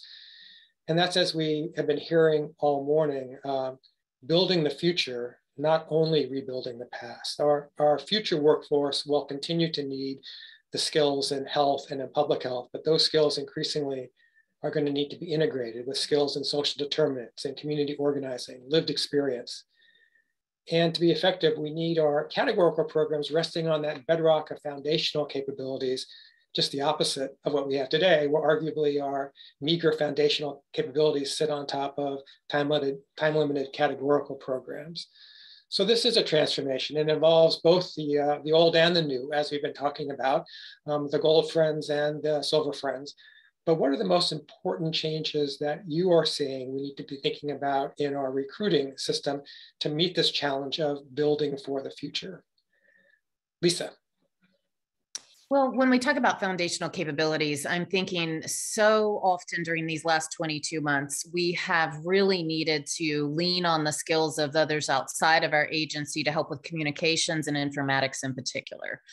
Um, so our rural public health academic health department model, that's what we've had to leverage in our academic partners was some of those skill sets that we just haven't frankly paid for in public health to date or valued the same way in governmental systems that that private systems understand are needed. So I, I've seen a lot of that in the chat already today but would just agree that you know we've got to level up our skill sets in communications and in informatics to make our data driven decision making as strong as possible and to withstand all of the attacks that um, we frankly need to do a better job um, you know sort of communicating back against some of the the chaos that is coming at us in social media to poke holes in our public health um, expertise. We, we've got to be really good at getting back and saying, well, no, this is what the science says, and here's what here's what we're going to stand by. So those are the two from from our foundational capabilities that I, I really, as a local health director, need to have um, more skill sets within my health department to do better. Yes, and to think about the uh, job descriptions and the salary ranges that we're going to need to, to bring those those new skills on, I think is uh, an important part of the equation. Yeah, th th thanks very much for that. Mindy, how about from you? And I agree with what, what she just said as well. And, you know, there's going to take a lot of education for the folks, uh, you know, in the political sectors to see the importance of public health and kind of be able to put blinders onto some of the things that have created their opinions over this last year. And she's exactly right. And, and two things I would add would be to develop that that pool of candidates in that hopper, if you will, we all have to get better at the local level and it's very difficult if they're not paid but we need to be able to take interns so that we can show them what the real life is in, in public health. And, and as i said earlier getting into high schools and, and other areas or other venues where you can promote public health and what it does for example i presented several times at some of our schools of public health in a class in a public health class and i would see that some of the things that they're being taught are so global and not so um, local where you explain what local public health does and relate that to some of the topics they're learning. And so I've learned to hone in on that to promote how important we need that um, kind of uh, development of the pool of candidates ready to come in. And then we try to foray that into internships where we can show them and apply some things so they become advocates. And, and that really is, they can also be educators of what, what true public health is. So we work on those daily. Um, and then it, it really is a bit of a domino effect of to, when you talk about the bedrock bedrock of some of those foundational services that we need to know and provide it's a domino effect of more money to get more staff to do better training to be able to accept interns and all of those programs where we can educate and get out and talk about public health to build that trust that gets people to want to come in. Yeah yeah thanks mindy. Um, again really really excellent excellent points. Tara, in my career, when I've gone as a public health person in front of the state legislature oftentimes, although people have been polite, I sense a, a, desire to of rolling eyes. What are you back here for again now? With what new request? Can you talk a little about, from your perspective, how um, the public health system might best approach the state legislature in this time and and speak to some of these new needs that we've been uh, talking about today? Yeah, that's a, a great question. So. Um, and I know that politics and, and working with state legislators and policymakers has come up several times throughout the day. Um, and the, the significant challenges with one-time funding. So um, state legislators, I, I, there is a desire to be working with public health. So I, again, would really encourage you all to, to work with them. Um, they, it's, it's very mixed in terms of what we hear about um, changing or increasing government workforce, as I'm sure many of you are very aware of. Uh, there, are, there are significant hesitancies in some states of increasing FTEs. Um, but at the same time, we're, we're getting that and questions about, but how can we be more efficient or effective? So um, I think going and talking with them with several ideas is important and understanding the budgetary constraints. States do need to balance their budgets. They um, are very aware of that and state legislators are, um, you know, that is a big, if not the biggest part of their job. So in terms of thinking about this from a funding piece and working with state legislators, um, we've seen success with outsourcing and contracting, um, not necessarily the maybe best option for long-term sustainability, um, but it is an option. Um, and then uh, thinking outside of the box a bit. So one thing I've been thinking about a lot is how many new partners public health has had over the last year and a half um, almost every state has worked with their National Guard um, and has worked with other hospital systems or other systems to do um, testing and the vaccine rollout um, and have built all of these partners. Um, and I, I think there are opportunities for us to train and partner with those entities um, so that the entire public health workforce and folks that we don't always think of as public health can be trained to respond um, in emergencies. Um, if you're working with your state legislator and you're interested in asking for more sustainable funding, get to know them. Relationships are hugely, hugely important. If you're going, they're used to people and agencies asking for money, asking for policies, um, but it's really essential that you get to know them before you have your ask. Um, get to know the folks who are on this, the health committees, get to know the folks who are on the appropriations committees. Um, make sure they know you're credible. And then when you do have those conversations, some that may be very difficult, they already know who you are and are interested in talking with you about this. Um, there are a lot of champions in the legislature who are interested in building the public health workforce, we're thinking creatively about how to support the public health workforce. Um, I know there's been a lot in the media. There's a there's a lot of uh, things going on with uh, public health authority and um, some things that might make it a little bit more challenging to be working with state legislators, um, but they are interested. And again, this is across the political spectrum and the, the country from what I've been hearing and seeing working with our members. Um, I'm happy to go, I can presentation on working with state legislators. I won't do that right now, but I'm more than happy to talk with folks offline a little bit more about that. Well, we, we, may need to invite you back because that would be great. Um, and I've had the privilege of working at the local level as well, where it's sometimes e easier to get to know your county commissioners, but this issue is still an issue at the local level. So Blair, I'm wondering if you could quickly weigh in on this point as well.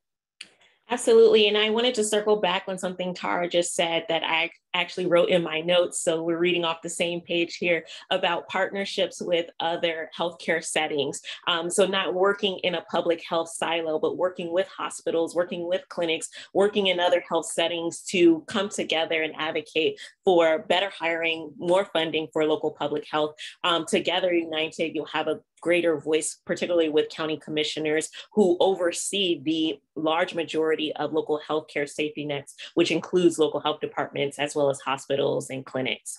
Um, in terms of interfacing with county commissioners, uh, as you said, David, they have much more of a closer proximity to local residents as well as county workers. So it's easier to get to know your county commissioner than it is your state legislator. Um, but wanting to make sure that the decision makers um, are appointing people in position in positions of authority that are representative of the community and have an understanding of the needs of the community. And I say this specifically for counties and county governments. Um, this means ensuring that the individuals appointed to local boards of health reflect the population that they will be serving, which means they're diverse in both racial and ethnic background, as well as in their lived experience and skill set.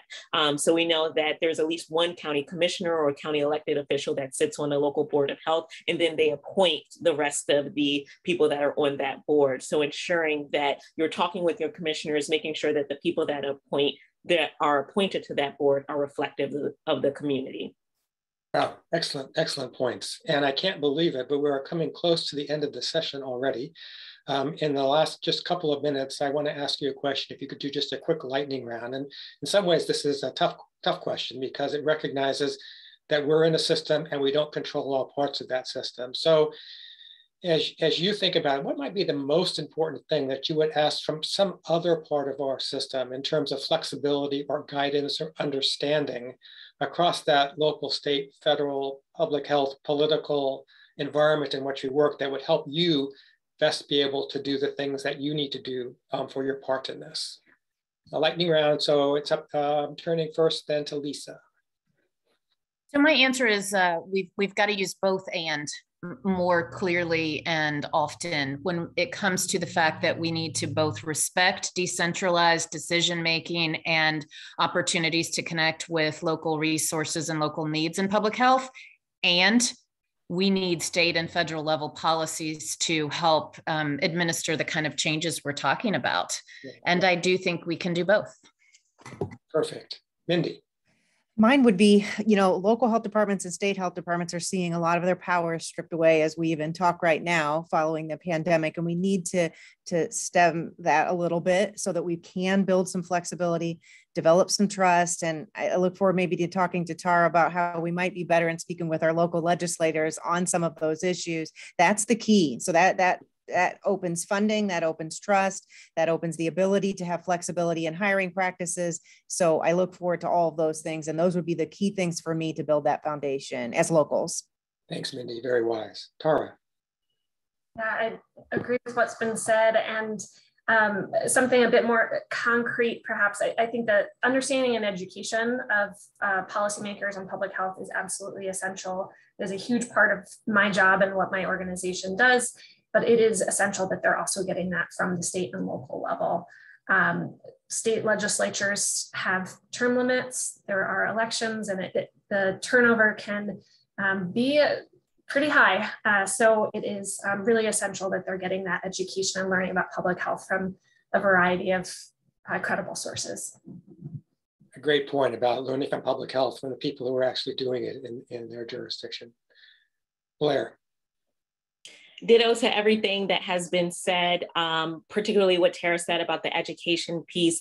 Uh, you'd be surprised the levels of government that don't have an adequate understanding of the role of local public health, even amongst county officials. Um, so making sure that your county officials understand the role of local public health, what you're doing in the local health department, the various things that local health departments do um, in terms of prevention and public health services, because then they can be your advocates with the state legislator and the state can be your advocates with the federal government. So making sure we're continuously educating up.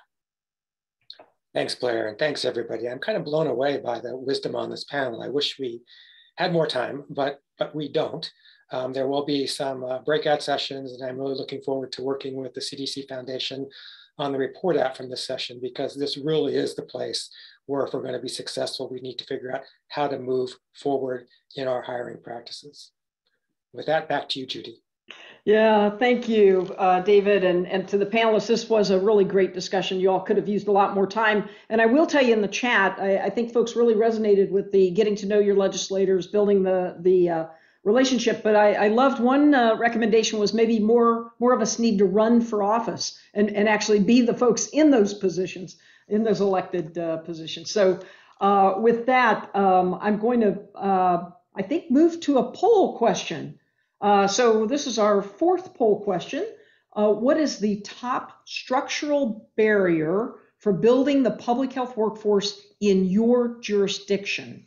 And you have uh, a few things to choose from. So this one is a single choice. You have to narrow it down to the single uh, highest barrier, structural barrier.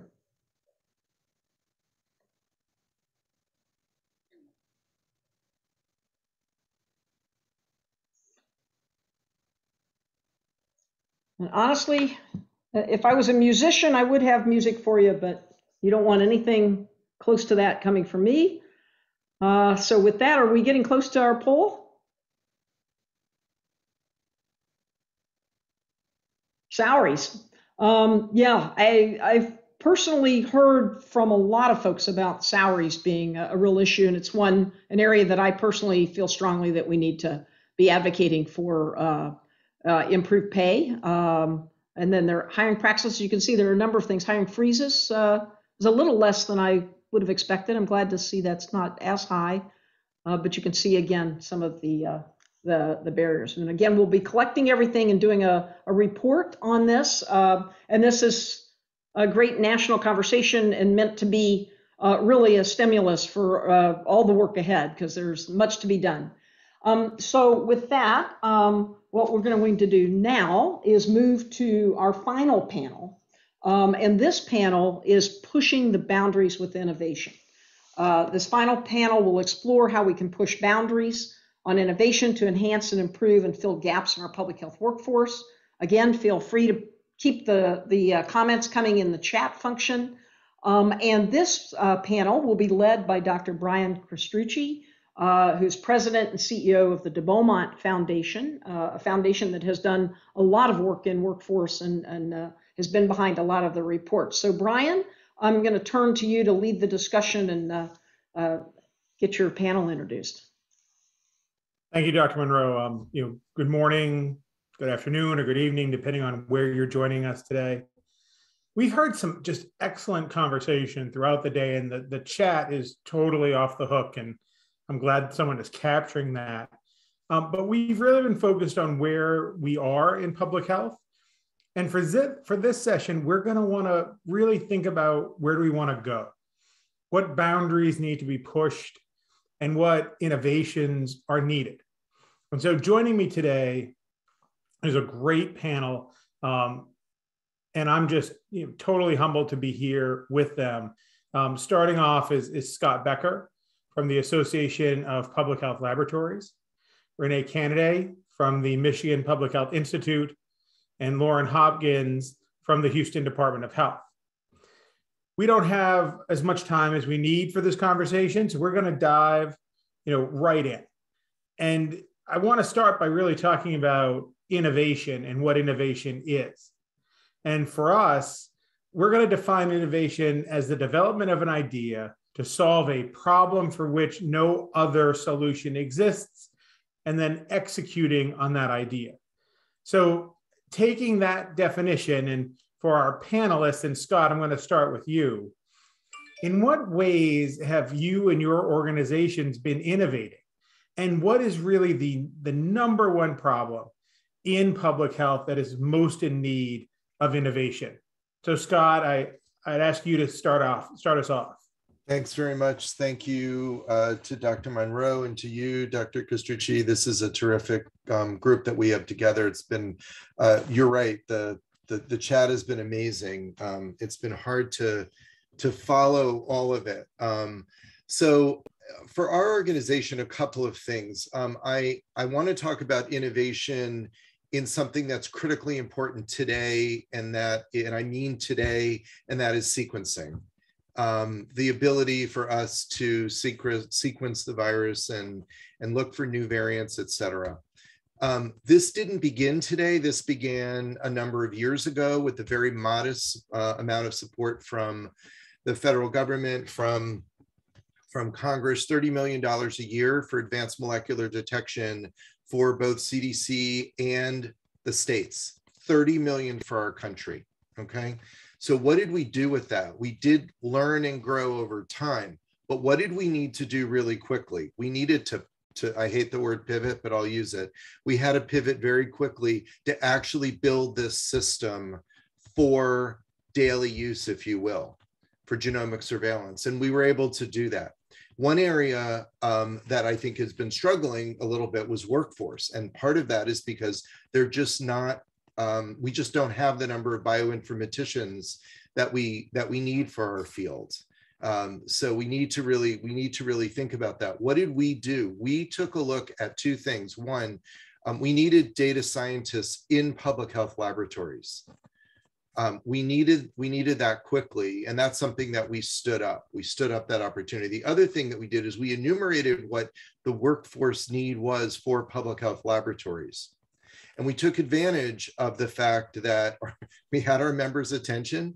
Uh, they said, okay, in an ideal world, this is what I need to do all the things uh, for public health lab science and practice. they gave us that information and we advocated to Congress, we advocated to the administration.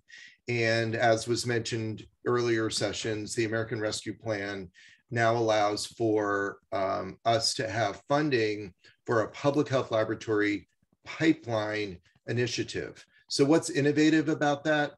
Um, well, it's the first time that a large amount of money is being is being um, put towards that, and we are going to have a goal of 40 percent um, of the participants to come from underrepresented minority communities, um, from other other areas of public health that are that are not um, represented in our in our community right now. So we're going to do a we're going to do the best effort we can for outreach and to uh, also institute a new internship program. So those are just a couple of couple of the things. To your second point, which is what do we really need to do? What is the innovation? Never mind the, the lab science sector. I want to follow on last the, the last session. We've got to innovate in, in um, our, our salaries. We need to innovate in civil service. We need to innovate in our hiring practices. So if, if governmental public health is to succeed, we can't be operating with systems that are 80 years old. We absolutely have to look at the future. Thanks, Brian. No, thank you, Scott. Now, I think that the last point is really a, an important one. Um, Mike Fraser is often to say, you know, is this a public health problem or is it a government problem? And at first I pushed against that idea. And Now I've really kind of thought, well, maybe he's right. Um, but don't tell him I said that. No, I won't. So Renee, what, what would what have what have you been doing at the Michigan Public Health Institute to, to innovate and and what is that one thing that that we really need to solve in public health? Oh, um, thank you, Brian, and um, thank you uh, to Judy, to Dr. Monroe for, for convening what I'm calling a, a public health family meeting. Like she just called us all into the living room and we're sitting here having this really transparent, authentic discussion. Um, you know, innovation, I think, um, lives within systems, lives within organizations, but also lives within people right? We are the purveyors that are carrying out the new policies, the new practices. And so, in very, very clear ways, I think we've been effective at innovating in this space of um, equity. And really, more importantly, I'm pushing people to think about inequities. I mean, there's so much. Um, that's not always about what we're doing, but how we're doing it. It, it makes me think about my uh, sons are now all adults, but when they were young, we had this little game called Bop It. I don't know if Bop It still is out there. You twist it, you flick it, you do all these things. And when you mess up, Bop It would say, do it again, but uh, better. So there's a lot of space in public health, a lot of things that we need to do uh, better. And so this, uh, one of the things that I would say we've been skillful in doing um, around our portfolio of work in health equity and social justice has really been to push us, not just in this space of talking about social determinants of health, which we need to do, but social determinants of health inequity. How do we transform public health back to the root causes of why we all started doing the things that we're doing. If we think back to the Lillian Walds of the world, the founder of public health nursing, um, the, the John Snows of the world that began to not really doing something that was amazingly unheard of, but doing what we knew to be right and pushing a system to do that. And so, certainly in this space of health inequity, we're I believe that we're leading in that space, but I'm also trying to link arms with lots of people to talk about this. When I was recruited back into public health practice, I was tenure track at Michigan State University, thought that would be my retirement gig, but I was recruited back into public health practice because Ingham County Health Department said, we need help doing this social justice, health equity thing in a really authentic, impactful way. And so here um, they drew me back. And so that point about systems innovate, but they innovate through people. And so it's not just um, who we're recruiting in terms of representation. But what do we mean by representation? So when I first got to MPHI, with 9% of our um, workforce was staff of color. We're now at 29% staff of color. Michigan's um, population of color is 14%. Does that mean that I'm done trying to recruit diverse folk? No, right? Because it's about more than just checking that race box. It is about a whole plethora, if I can say, of identities. And so this whole issue of um, how do we push differently when we're sort of leading the curve? We're leading the curve so that others will get on that curve, on that wave with us. And um, I'm just honored that we've been able to be a part of the dialogue around health equity, health inequity, social determinants of health inequities um, for uh, the last several decades um, in this space. Thank you. And, and Loren, what would you add? Well, um, uh, I, I, can only give the perspective from really kind of the boots on the ground um, um, experience because, um, you know, um, I'm, I'm sitting in a local health department and I run various really applied programs. Um, I think that the thing that, in terms of innovation, that we um, uh, you know have found to be really successful um, is that uh, we were able to pivot and and and begin you know a, uh, a very uh, successful wastewater epidemiology program at the beginning of COVID. And um, some examples of, of of the innovation with that um, I think uh, just stem from our partnerships. Um, we we're able to, um, and I, I, mean, I suppose it's because we've been handed public health emergency af- one after another for the past few years. Um, I am the chief environmental science officer for the city, and you know we had Hurricane Harvey, we had something called the ITC fire, which other people may not be um, uh, remember, but it was a, a, very big explosion with a um, with a plume of smoke that lasted for over a week and benzene concentrations in the neighborhoods and then and then we have the pandemic. And so i you know with that with every step of that i have become very agile at um, uh, asking for help from my academic partners. Um, i think that it's potentially an important message to uh, you know i hear people talking about academic partners but um, i don't know how well it's working for other places but here um, I actually am faculty at Rice University and I sit in the health department. And um, I'm the only one in, in the city of Houston that has that role, but I know that uh, the, the director of our health department has found it to be very useful because I'm able to do research to support policy and changes.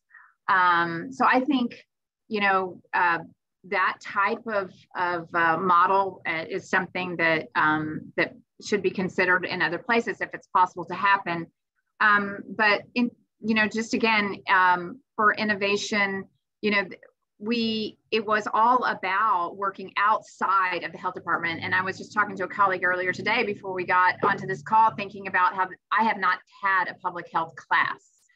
Uh, you know, my background, you know, I'm in the statistics department, but I also do, you know, environmental work. So everything that I see is bringing together, um, uh, you know, facets from outside um, and and also just programming innovation, trying to um, automate things that people shouldn't have to do, and and and and just for the for the wastewater program, it was reaching out to public works really working well with public works then working with you know baylor college of medicine virologists environmental engineers developing our own wastewater staff here in the health department.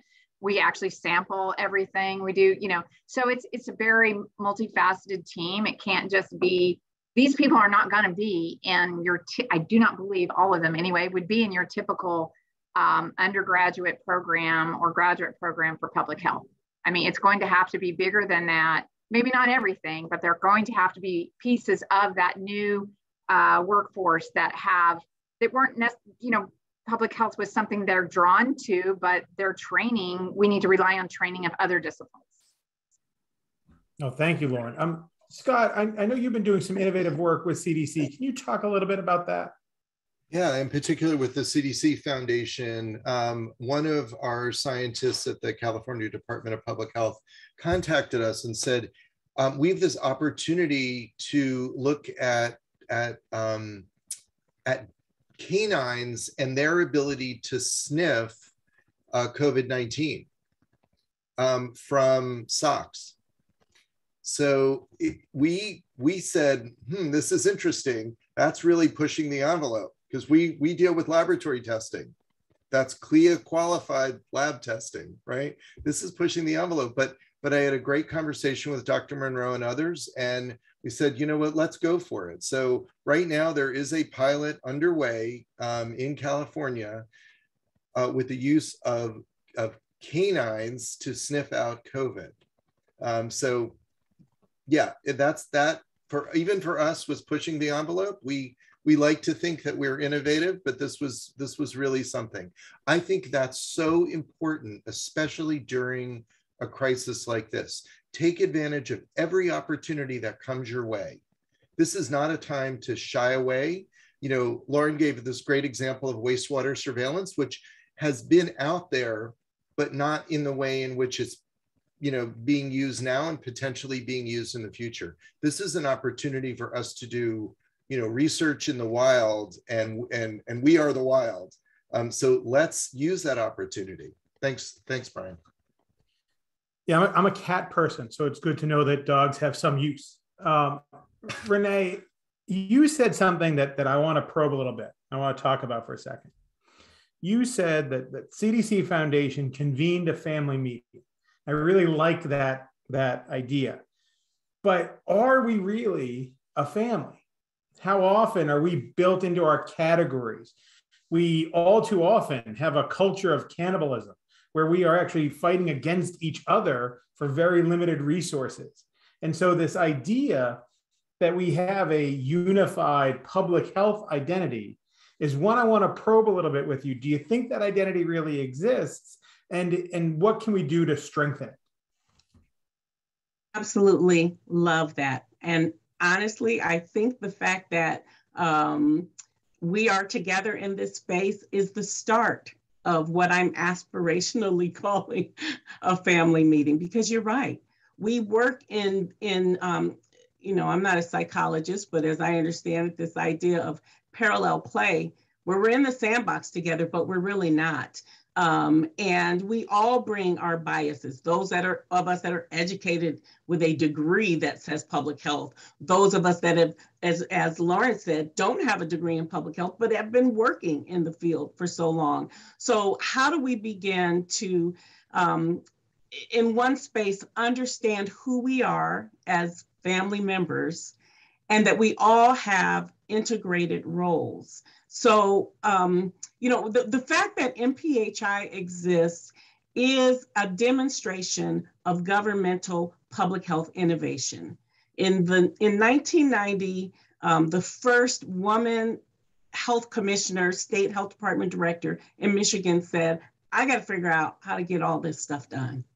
And she began leveraging relationships with partners in the community and with the legislature so that she, it was their idea to create this thing called MPHI, which would be a nonprofit entity that was a public health partner who they trusted, who they had relationship with. And she was innovative enough to get us established in um, legislation with unanimous approval from both sides of the aisle. That was the 90s. That was then, this is now, right? Um, so I think the fact that she was not threatened by a nonprofit entity coming in to do her governmental work or and the fact that she did it in partnership with academics. So the three um, major universities in michigan state have two board seats on our board at michigan public health institute because she was intentional about how do we get rid of these silos so that if I need scholarship and intellectual insight, I can call a university partner? And what is the hub that, um, that is the tie that binds us? And that's what she created Michigan Public Health Institute to be. And so, yes, we, we have some um, schisms in our family. Uh, but I'm still optimistic that the more we learn and understand each other, and the more we see what happens when we don't partner authentically, as we're seeing now, um, that will all be motivation for us to do uh, more and better. So Scott, what would how would you respond? I mean, you you are the you know, CEO of the Association of Public Health Labs. How do you how do you think through what money labs getting versus maternal child health or epi how do you see the funding is it complete or silent so I, I think we have been siloed there's no you know there's no putting lipstick on that pig right? We have been siloed um, i think it's the opportunity now to think about public health in a very interdisciplinary way. We say that. We say that a lot. That's not how we're funded. So therefore, the structures that are in place force us apart, not together. I have a great example of um, previous silos. Lab and EPI have been siloed in the past. And that was something very intentionally, and I and I love the, the term that Renee and others used earlier today about we have to be authentic, but we have to be very um, intentional and a number of years ago, uh, APHL and CSTE came together and said, how can we work better together to strengthen public health surveillance? Because the definition of public health surveillance of one of one definition is, is EPI and lab working together. And uh, we really have done that in, in any number of ways, uh, supporting each other, um, our members supporting each other, um, not having lab seen as a subset. It is that building off in the distance where, you know, things happen. But but what we really tried to do was to support and strengthen each other. And one outcome of that, quite frankly, was the advocacy campaign on data modernization.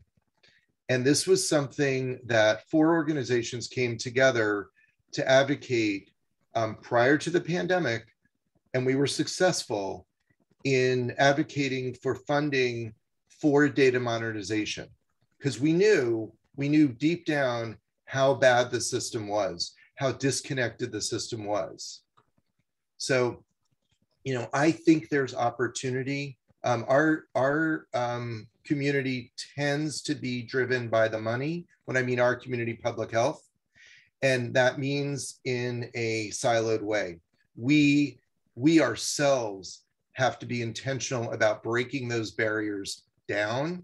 We need to support each other, not cannibalize each other. Thank you, Scott. So, you know, this is always the fastest 30 minutes that you ever want to have. So, as time is starting to get away from us a little bit, I, I do have one question, you know, for you, Loren, that, that I really want to probe a little bit. Um, when you think about what the health department was before the pandemic, and the health department that we need going forward? What are the changes that we need to see inside our health departments so that we can live up to the modern public health system that we all want? I think that, you know, I could repeat everything. We need a diversified workforce. We need to um, actually be able to attract um, these very highly educated um, data scientists. We need to be able to pay them. Uh, we need to be able to retain them.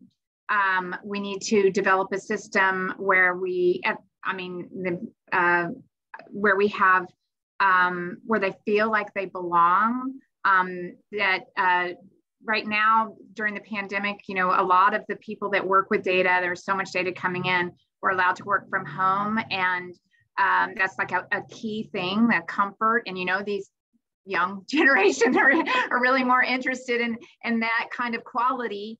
Um, and we're losing them right and left to other uh, health departments that are allowing them to work from home. We need to find ways to um, really look at them as, as whole people and integrate them as well as continue to educate them um, because they're going to be driven in our market, they're going to be driven by um, um, really doing good and um, not and and and keeping learning and exciting things which may mean that their education you know this workforce development their education they come out they're educated they've taken you know, logistic regression. They've, they've taken some really um, wonderful classes, maybe database management, but they're not immediately given that opportunity. We need to bring in those academic partners to oversee them when they're doing sophisticated analysis so that they can continue to grow and we can all feel confident that the answers are correct. Um, I just, uh, and again, you know, really, really broadening out um, this public health world to include some of these uh, expertise.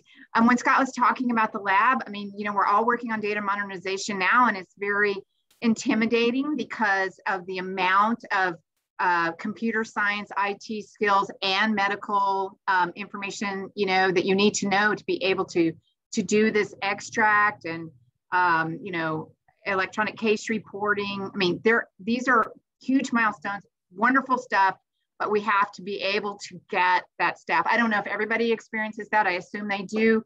You know, we don't pay as well as other other industries. I mean, the medical center across the street could take any of our people at any time. We have to have a reason to keep them here.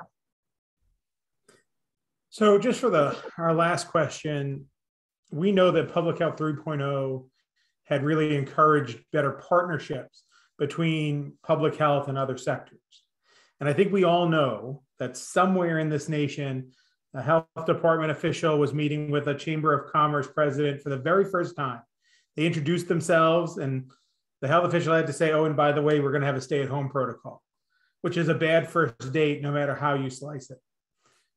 In your opinion, what is the sector that we need to reach out to immediately so that we have a better public health practice in the future?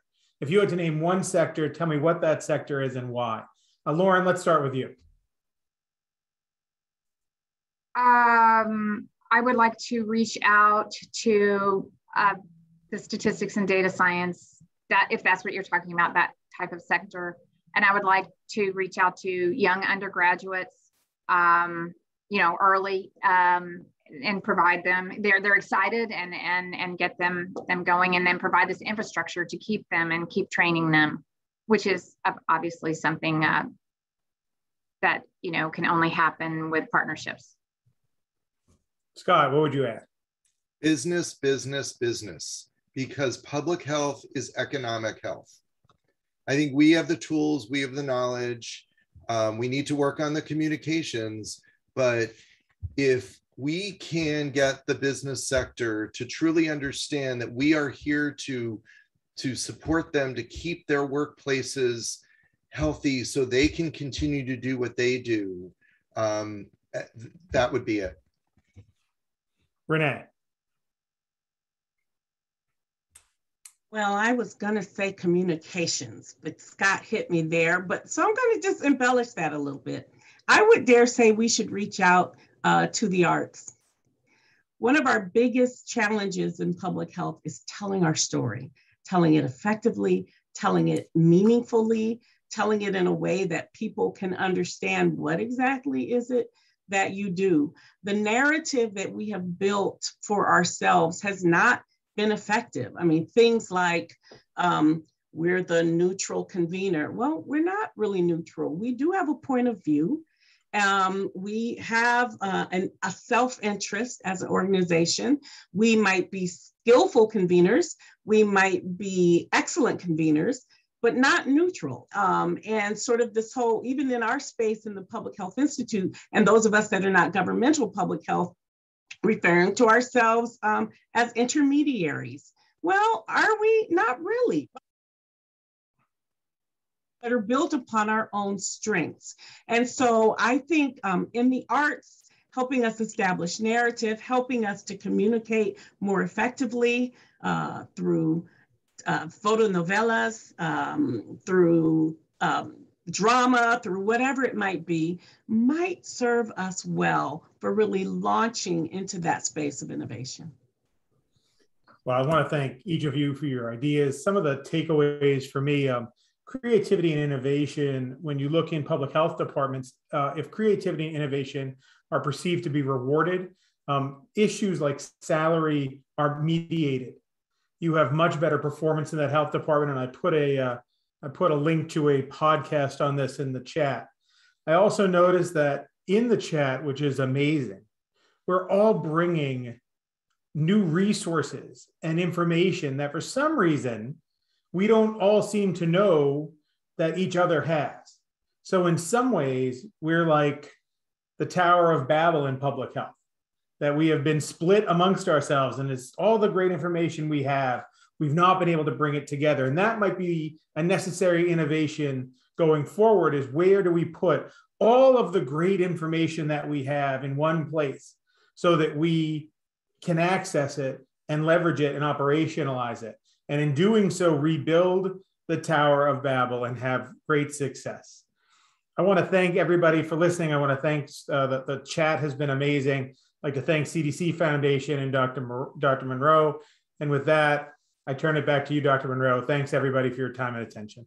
Well, thank you, Dr. Castrucci and all the panelists. I mean, that was amazing, um, as, as has been the day. Um, Renee, I, I, must tell you, um, the family meeting, when you said we'd convene folks in the living room for the family meeting, I it's the fam it's the public health family uh, and yes a lot of families may have some dysfunction that uh, need need some work right? Uh, but uh, it's also the extended family uh, when we think about public health and that will be some of our future summits that we'll uh, work with. And then your comment about the arts um, there, there's a reason we name this lights camera action the future of public health to to think about pushing the envelope and so hopefully we'll we'll see more uh, in some of those recommendations. So we have a couple of final questions for you all.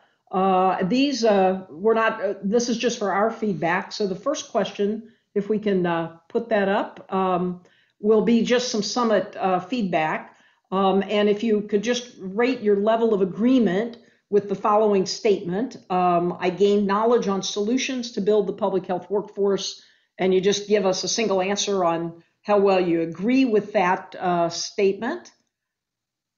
And uh, whenever you feel you have enough answers, uh, we'll go to the second. Uh, we'll leave that to. Oh, and there's a second question already on here. Uh, please rate your level of agreement with the following statement. The format for the National Summit Series was conducive to increasing knowledge.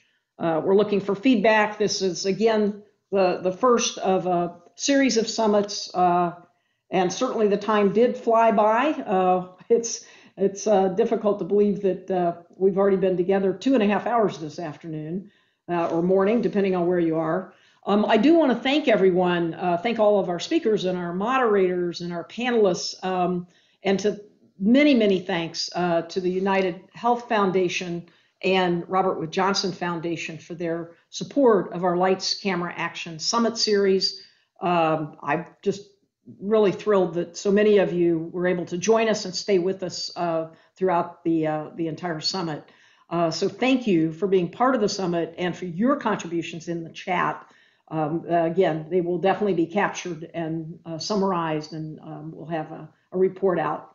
Um, we certainly have real challenges in front of us, uh, as you heard from the presentations and the discussions today.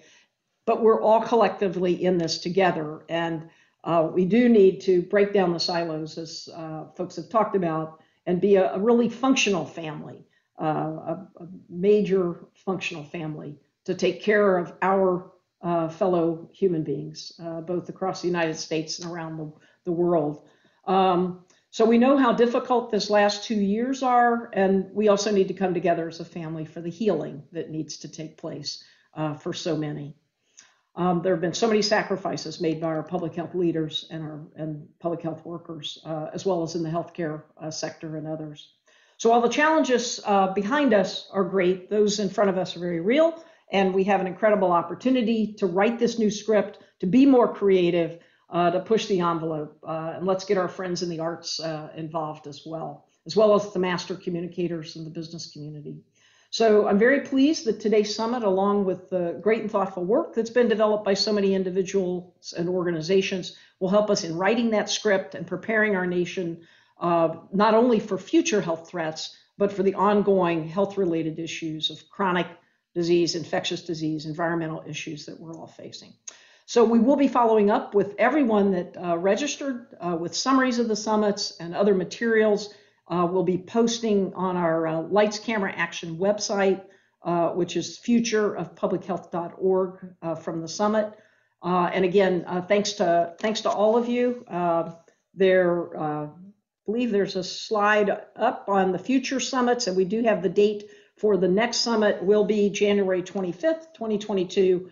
Uh, so mark your calendars, and that one we will be focusing on uh, data modernization, modern data and technology infrastructure. Uh, should be a robust uh, uh, conference. Um, we have a final slide there for information. And with that, I'm going to say thank you to everyone and uh, bid you a good good afternoon.